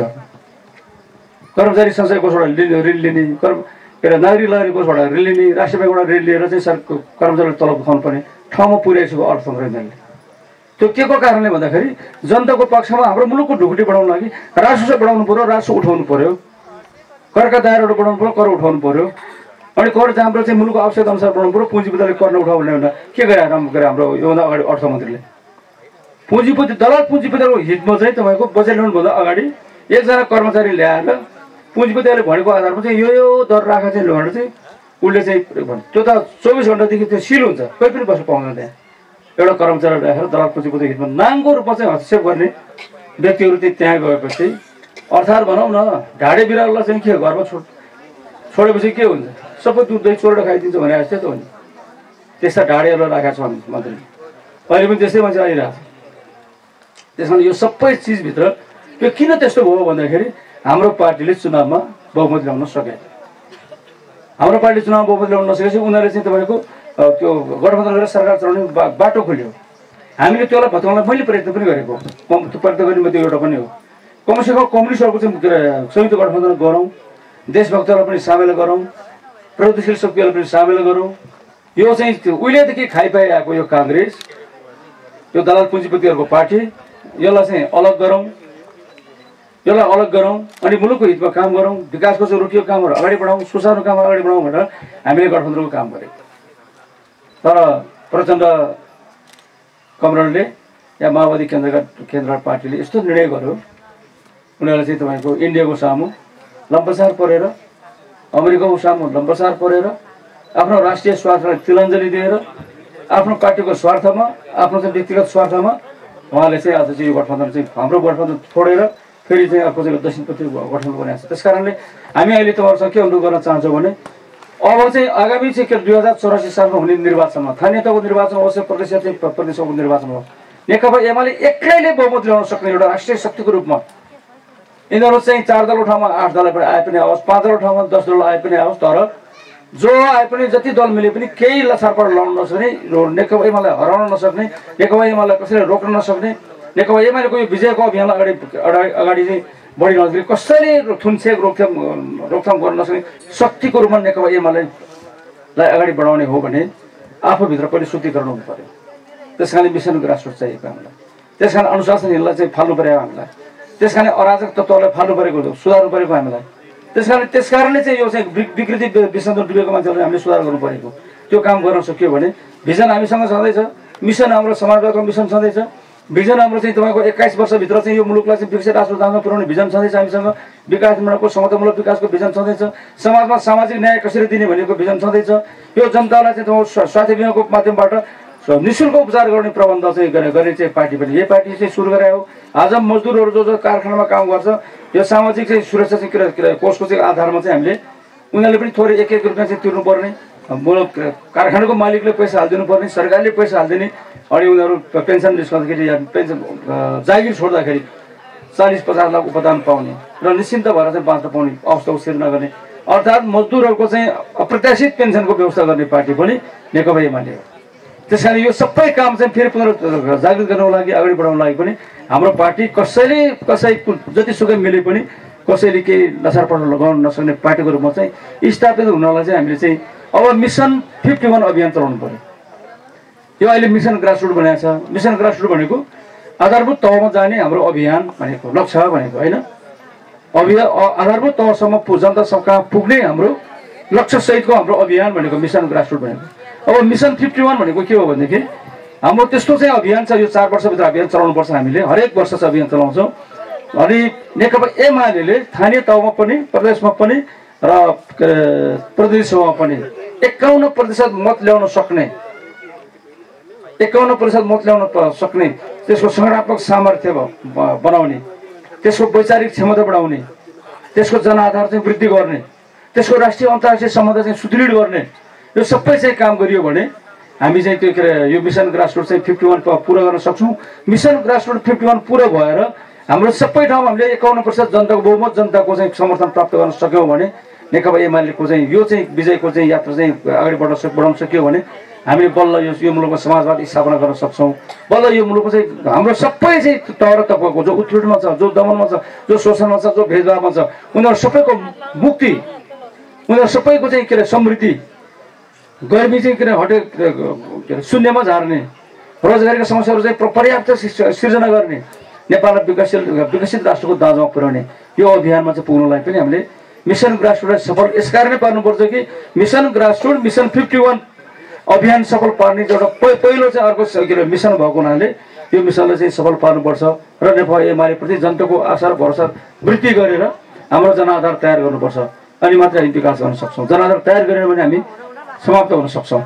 त्यसैले यो जनताको चाहिँ गाउँ गाउँमा पुगेर जनताको टोल टोलमा पुगेर जनताको समस्याहरू सङ्कलन गर्ने पार्टीको समस्याहरू सङ्कलन गर्ने अभियानमा हामी अहिले लागेका छौँ।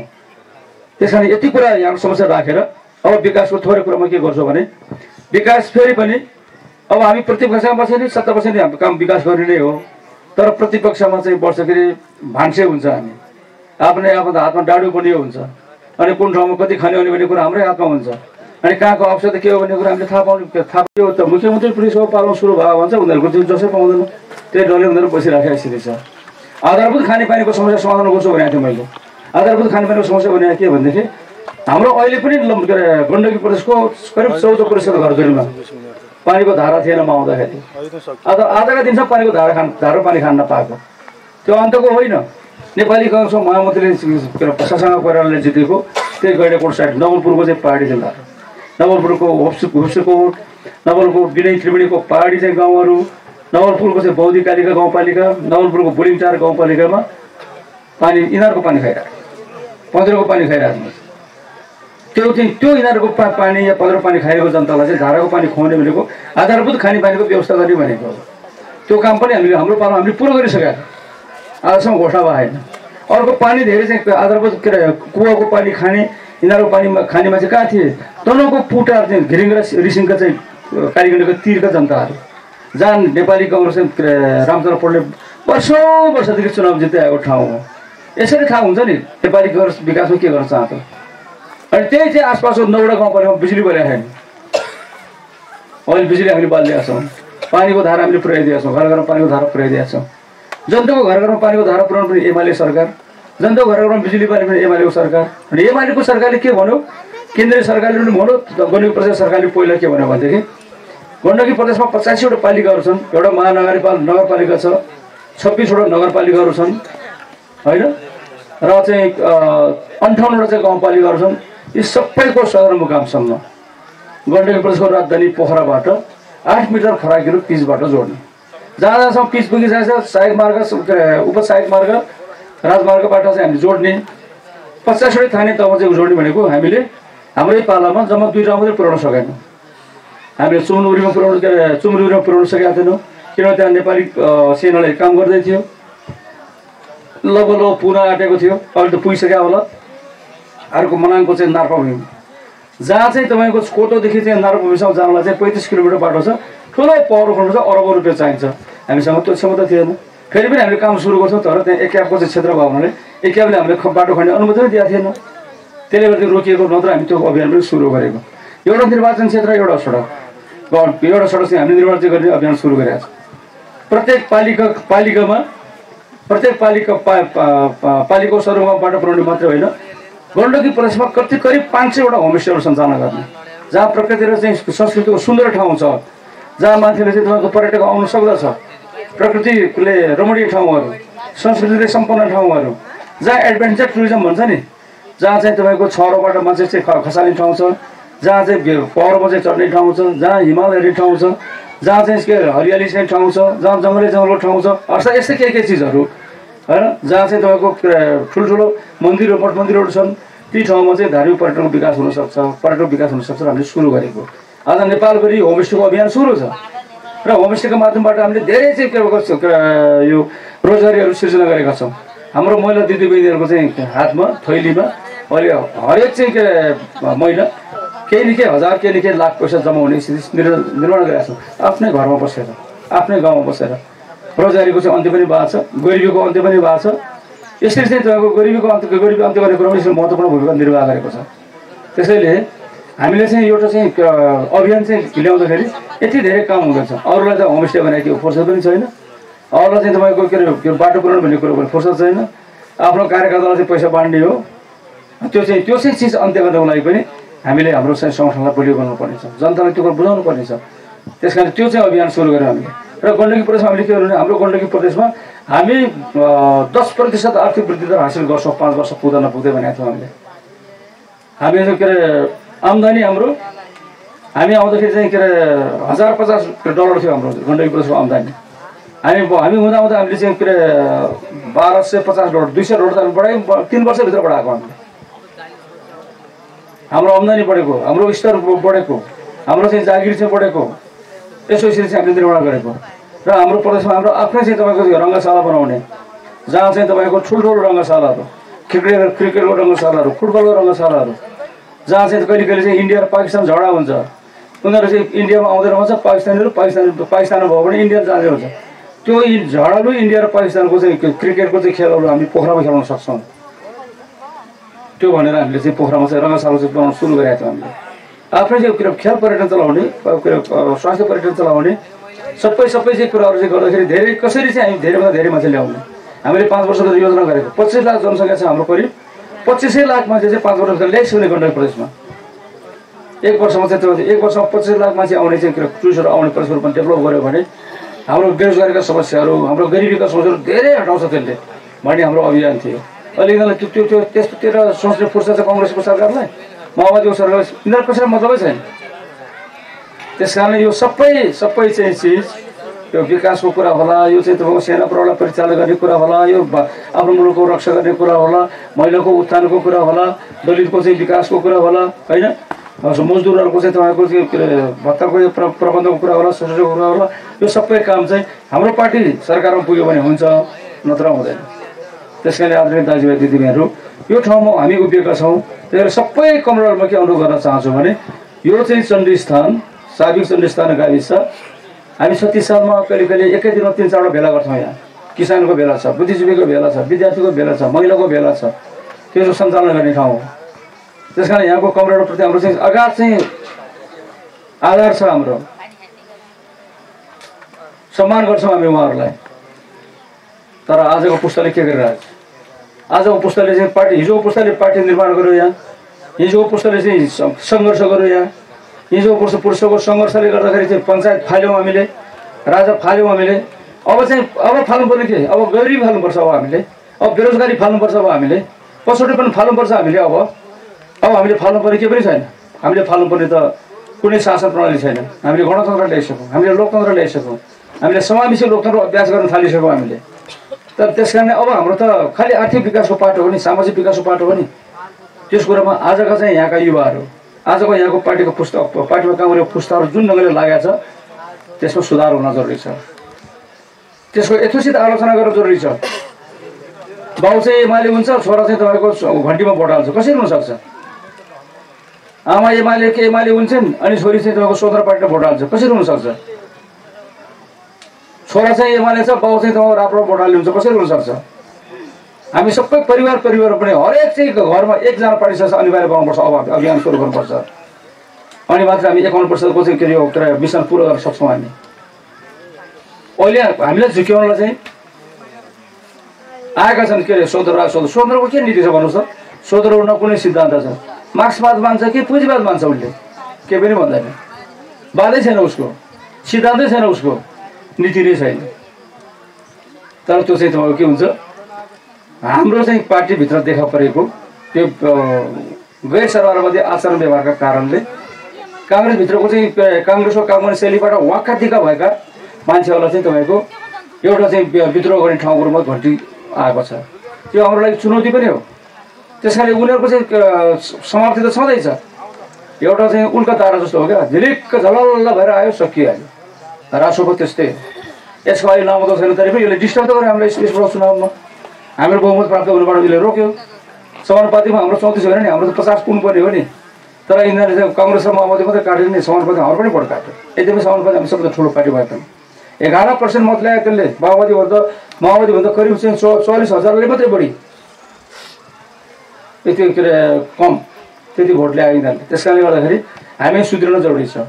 यहाँको कमिसनहरू सुध्रिनु जरुरी छ। सधैँ मैले अघि दोहोऱ्याएको छु मैले। इतिहासको गाथा बजाएर आजको चुनौतीको सामना गर्न सकिन्न।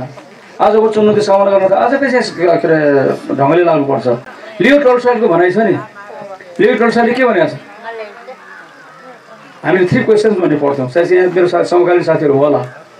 सबभन्दा महत्त्वपूर्ण व्यक्ति समय के हो भन्दाखेरि past is pass future is uncertain present time is the most important time भन्थ्यो हामीले बित्ती कुरा बितिसक्यो बित्ती कुरामा पश्चाताप नगर्ने हुन्छ। भविष्य चाहिँ भविष्यको कुरा चाहिँ अन्धकार छ के हो यो थाहा हुनु अनिश्चित छ भविष्य। तर आज चाहिँ जे हो आज आजैको समय महत्त्वपूर्ण हो। त्यस कारण आजैको दिनमा भोलि सुध्रिनु भने सुख पाउनु आजको चाहिँ हामी सुध्रिनु पऱ्यो हिजो क्रान्तिकारी कुरा गरेको त future is past is past त्यो त गइसक्यो। लेट ब्यागन फि ब्यागन भन्छ अङ्ग्रेजीमा। हुने हुन हामी गइसक्यो त्यो राम्रो भए पनि नराम्रो भए पनि। अब त्यसले फर्केर चाहिँ हाम्रो भविष्य बन्दैन। हाम्रो जीवन चल्दैन। त्यस कारण the time present time is the most important time भन्छ। वर्तमान समय नै सबभन्दा शक्तिशाली समय हो सबभन्दा महत्त्वपूर्ण समय हो। त्यस कारण आजको दिनमा हामीले मिसन राष्ट्र अभियान पुरा गर्ने काम गर्नुपर्छ। भोलि गरौँ भन्ने कुरा हुँदैन। सबभन्दा महत्त्वपूर्ण व्यक्ति who is the most important person हो सबभन्दा महत्त्वपूर्ण व्यक्ति को हो भन्छ? सबभन्दा महत्त्वपूर्ण व्यक्ति को हो? चिन हो हाम्रो लागि होइन। भारत हो हाम्रो लागि होइन। अमेरिका हो हाम्रो लागि होइन। नेपालले हाम्रो लागि सबभन्दा महत्त्वपूर्ण चाहिँ देश हो। र तब तब हाम्रो लागि सबभन्दा महत्त्वपूर्ण व्यक्ति को हो भन्दाखेरि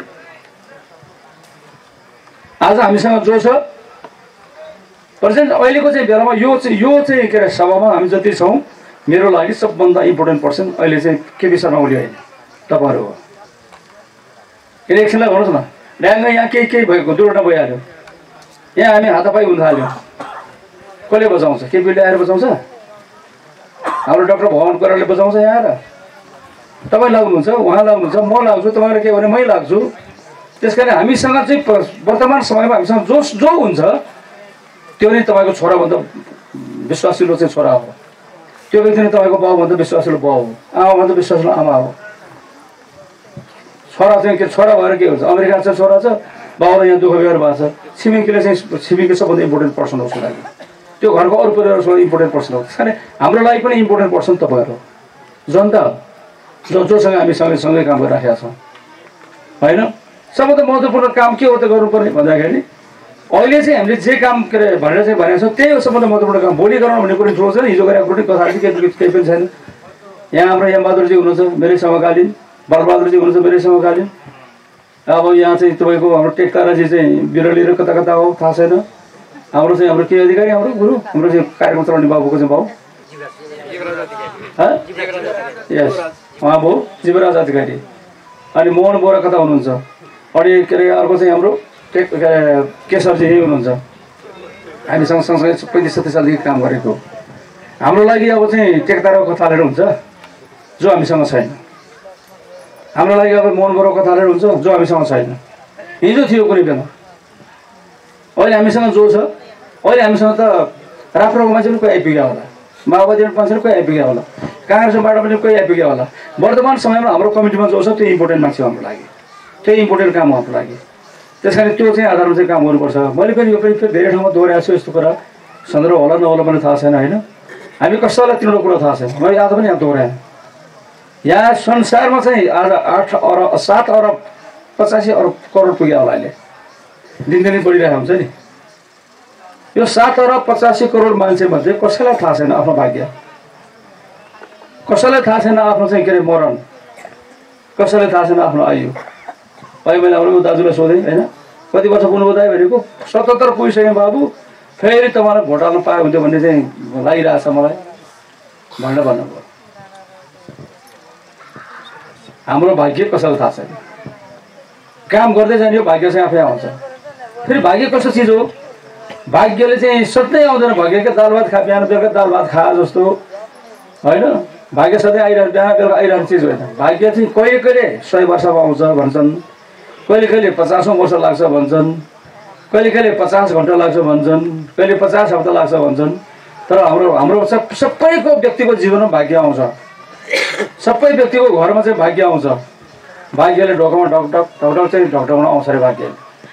भाग्यले ढोकामा त्यो ढकढाउन आउँदाखेरि हामीले ढोका चाहिँ उगाएर चाहिँ भाग्यलाई ढोकाभित्र पसाल्न सकिएन भने हाम्रो भाग्य चाहिँ यो मान्छे भित्रको मान्छे उठेन भित्रको मान्छे ढोका खोलेन भने त्यो ढोका पुरेर बसिरहेको छ अरे भाग्य।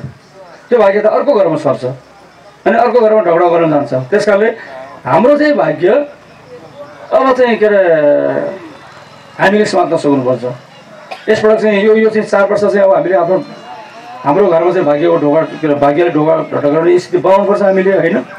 ढोकाले ढकढकाएपछि त्यस कारणले चाहिँ ढकढकाएपछि के हुन्छ? हामीले त्यो ढोकाउनु अर्थात् हामीलाई यस्तो अवसर छ कि अब यो चाहिँ त्यो माओवादी चाहिँ पतित भयो क्रान्तिकारी कम्युनिस्ट भनेको पार्टी पतित भयो माओवादीहरू चाहिँ स्खलित भयो सकियो उसको पार्टी अब चल्दा पनि चल्दैन केही हुँदैन काङ्ग्रेसले सकेन माओवादीले जानेन जान्ने पनि हामी नै हो सक्ने पनि हामी हो।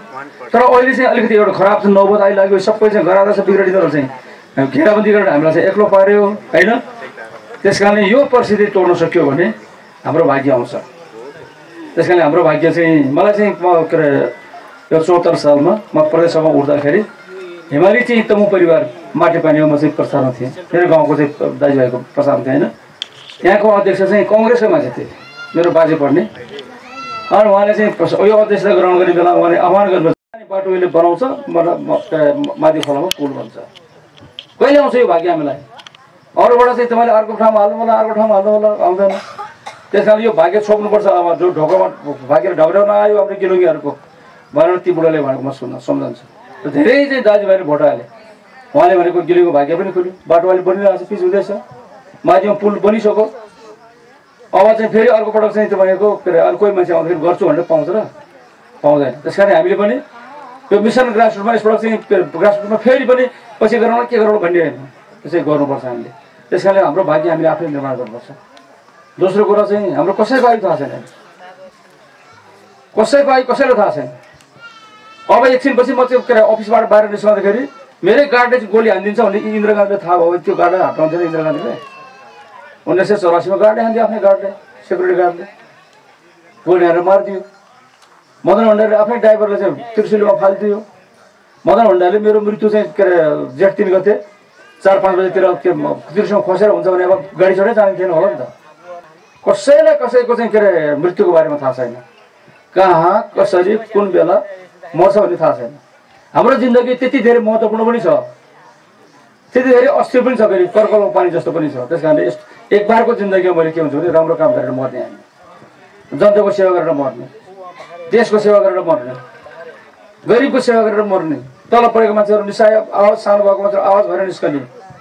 हिँड्न नसक्नेहरूको पाइलो के अरे कदम भएर निस्कने हामी। होइन? त्यो चाहिँ भएर निस्कनुपर्छ। त्यो कामको लागि म तपाईँ सबैसँग अनुरोध गर्न चाहन्छु। लागौँ आज पनि म चाहिँ हाम्रो गाउँको प्रत्येक घरमा एक पार्टी सक्छु भने लाग्नुहोस् त किन हुँदैन? लागेपछि चाहिँ हुँदो रहेछ नि त। हामी लागेर यो मुलुकमा यत्रो चाहिँ तरक्की गऱ्यौँ हामीले? अरू नलाग्यो भने कसैले गरेन। त्यस कारणले यस्तो चाहिँ चिजमा हामीले चाहिँ सोचेर हाम्रो जीवन यति धेरै अमूल्य छ। यति धेरै चाहिँ के महत्त्वपूर्ण छ यो महत्त्वपूर्ण जीवन चाहिँ राम्रो काम गरेर बढाउँ क्या। कुमति कुगतिले लिएर चाहिँ नमरौँ हामी। राम्रो मती लिएर बढाउँ न्यायको पक्षमा लागौँ। इमान भएर चाहिँ बाँचौँ। देशको लागि बाँचौँ जनताको लागि बाँचौँ। एक गाँस भात त कुकुरले पनि खान्छ। कुकुर पनि भोको छैन नि कहीँ संसारको कुनै पनि कुकुर त्यस कारणले त्यस कारणले हामीले मान्छेलाई मान्छे जस्तो बनाउनुलाई चाहिँ हामी बाँच्नु पर्यो। मान्छेलाई प्रेरित भएर बाँच्नु पर्यो। दुःख पाइरहेको एउटा चाहिँ के अरे आमालाई हामीले चाहिँ जोगाउन सकियो भने न्याय दिन सकियो भने कति खुसी होला उसको आत्मा उसको आत्मा खुसी भयो भने हामीलाई चाहिँ तपाईँको आशीर्वाद आउँछ। एउटा दुःख पाएर कहिले चाहिँ तपाईँको चाहिँ बाटो नपुगेको ठाउँ बाटो पुलाउने कल्पना नगरेको ठाउँमा बाटो बनाइदिनु के हुन्छ? त्यहाँको जनताले कति धेरै आशीर्वाद दिला हामीलाई? त्यस्तो आशीर्वाद हामीलाई लाग्छ। त्यस कारणले जनताको आशीर्वाद पाउने काम गरौँ हामी सबै। म त्यही चाहिँ सबै कार्यकर्ता हुनुहुन्छ त्यस कारणले मैले पनि अरू चाहिँ कुरा गरेँ।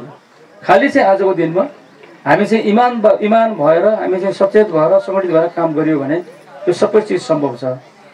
जनतालाई चाहिँ कहिले कहिले जनताको शक्तिको चाहिँ बारे बताउनुपर्छ। जनतालाई आफ्नो शक्ति आफ्नो शक्ति थाहा नभएको हनुमान हो जनताहरूको त्यसो पनि एउटा एउटा चाहिँ किस्सा सुनाउँछु। सीता हरण भयो लङ्कामा लग्यो रावणले राम चाहिँ चिन्तित भएर बस्यो। हनुमान झन् चिन्तित थियो किन उनीहरू रामको भक्त हो स्वामी हो। के अरे आफ्नो स्वामीको चाहिँ के अरे आफ्नो रानी चाहिँ हराउँदा के अरे आफूलाई राक्षसले हरण गरेर लाँदाखेरि निकै दुखित भयो। हनुमानले भन्यो राम स्वामीज्यू म लङ्का गएर चाहिँ के अरे सीताजीलाई लिएर आउँछु जसरी पनि। गयो। गएको समुद्र समुद्र आयो। समुद्र आएपछि हनुमान अत्तालियो। यत्रो पानी पानी रहेछ म कसरी जान सक्छु साथसाथ? अब रामलाई त मैले त्यत्रो वचन दिएर आएको। म त जान सक्दिनँ होला। अनि एकदम झोक्रिएर पानीको किनारा बस समुद्रको किनारा बसेर आएको। कताबाट चाहिँ एउटा गिद्ध जटाएको चाहिँ उडेर आएको। के भयो? किन चिन्ता लिएर बसेको? हेर म रामसँग यत्रो चाहिँ तपाईँको वचनबद्ध भएर आएको कसम खाएर आएको म जसरी लिएर आउँछु भनेर। ए पानी पानी समुद्रै समुद्र कसरी जाने? अब म के मुख भएर चाहिँ अयोध्या फर्किने? त्यसलाई चिन्तित भएर बसेको हजुर। लाटा। तेरो चाहिँ कति शक्ति छ भन्ने कुरो तैँले थाहा पाउँदैनस्? के? तँसँग त यति तेरो पाखुरामा यति बल छ कि तैँले यो सबै यो पर्वतै उठाउन सक्छ यो पाहाड चाहिँ उठाउन सक्छौ तिमीले। पाहाड उठाएर चाहिँ राख न खोलामा भनेपछि पाहाडहरू उठाउँदै ल्याएर समुद्रमा राख्यो उठाएर ल्याएर समुद्रमा ल्याएको लङ्का जाने बाटो तयार सिधै लिएर आयो। हनुमानलाई आफ्नो शक्तिको बारेमा थाहा छ थाहा रहन्छ नि त होइन। हनुमानलाई उसको शक्ति कति छ भने बताउनलाई जता आएपछि मात्रै उस आफ्नो समस्याबाट मुक्त भयो। यो चाहिँ पङ्क्ति पनि त्यस्तै हो। हामीले चाहिँ जनता पनि त्यस्तै हो। जनताले आफ्नो महिमा थाहा छैन आफ्नो शक्ति थाहा छैन। कति छ भनेर? त्यो जनता तेरो शक्ति यति छ भनेर सिकाउने हामी जस्तो नेताहरू हो।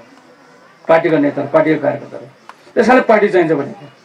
मुक्ति कारण जनताको मुक्ति मुक्तिदार जनता आफै हो। तर त्यो मुक्ति अभियानमा यसरी यसरी लाग्नुपर्छ यसरी राजालाई ढाल्नुपर्छ यसरी पञ्चायतलाई ढाल्नुपर्छ यसरी यो कङ्ग्रेसलाई हराउनुपर्छ भनेर जनतालाई चाहिँ शक्ति सिकाउने त हामी जसरी हो नि। त्यस कारण तपाईँहरूसँग त्यो शक्ति तपाईँहरूसँग छ क्या।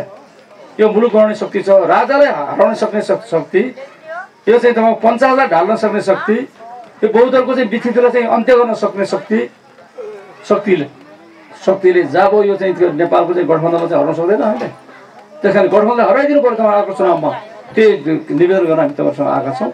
यति कुरा यहाँ समाचार राखेर म त लामो समयपछि यो चाहिँ के अरे चुनाव पछाडि यहाँ तपाईँहरूको आउन पाएको थिएन फेरि पनि यो गएको चुनावमा तपाईँले हामीले जसरी हाम्रो पार्टीलाई मतदान गरेर हाम्रो पार्टीको तर्फबाट म उठेको थिएँ प्रदेश सभामा। मलाई जिताउनु भयो। पार्टीको तर्फ सिङ्गो पार्टी केन्द्रीय कमिटीको तर्फबाट र मेरो व्यक्तिगत तर्फबाट सबैलाई म धन्यवाद दिन चाहन्छु। आभार व्यक्त गर्न चाहन्छु। पार्टीलाई पहिलो पार्टीको रूपमा स्थापित गर्ने काम हो। प्रदेश गण्डकी प्रदेशमा पनि नेपालमा पनि पहिलो पार्टीको रूपमा स्थापित गर्ने काममा समानुपातिक मतमा तपाईँहरू मत दिएर जसरी हामीलाई विजय गराउनु भएको छ त्यसको लागि पनि तपाईँहरूको म आभार व्यक्त गर्न चाहन्छु। हामीले दुईटै प्रदेश निर्वाचन क्षेत्रमा चुनावको हार बिहोऱ्यौँ। त्यसमा एउटा काम चाहिँ एउटा कुरा हामीले ध्यान दिएर छौँ त्यो भने के भनेदेखि अहिले पछि थाहा लगाएर हामी पनि अचम्म थियौँ कसरी हार्ने? तर हामी दुईवटै ठाउँमा हार्यौँ। एक नम्बर हामीले ग्यारेन्टी दुई नम्बर हामीले ग्यारेन्टी भनेको एक नम्बर समाउनु भनेको उहाँ उठ्यो उनीहरूले।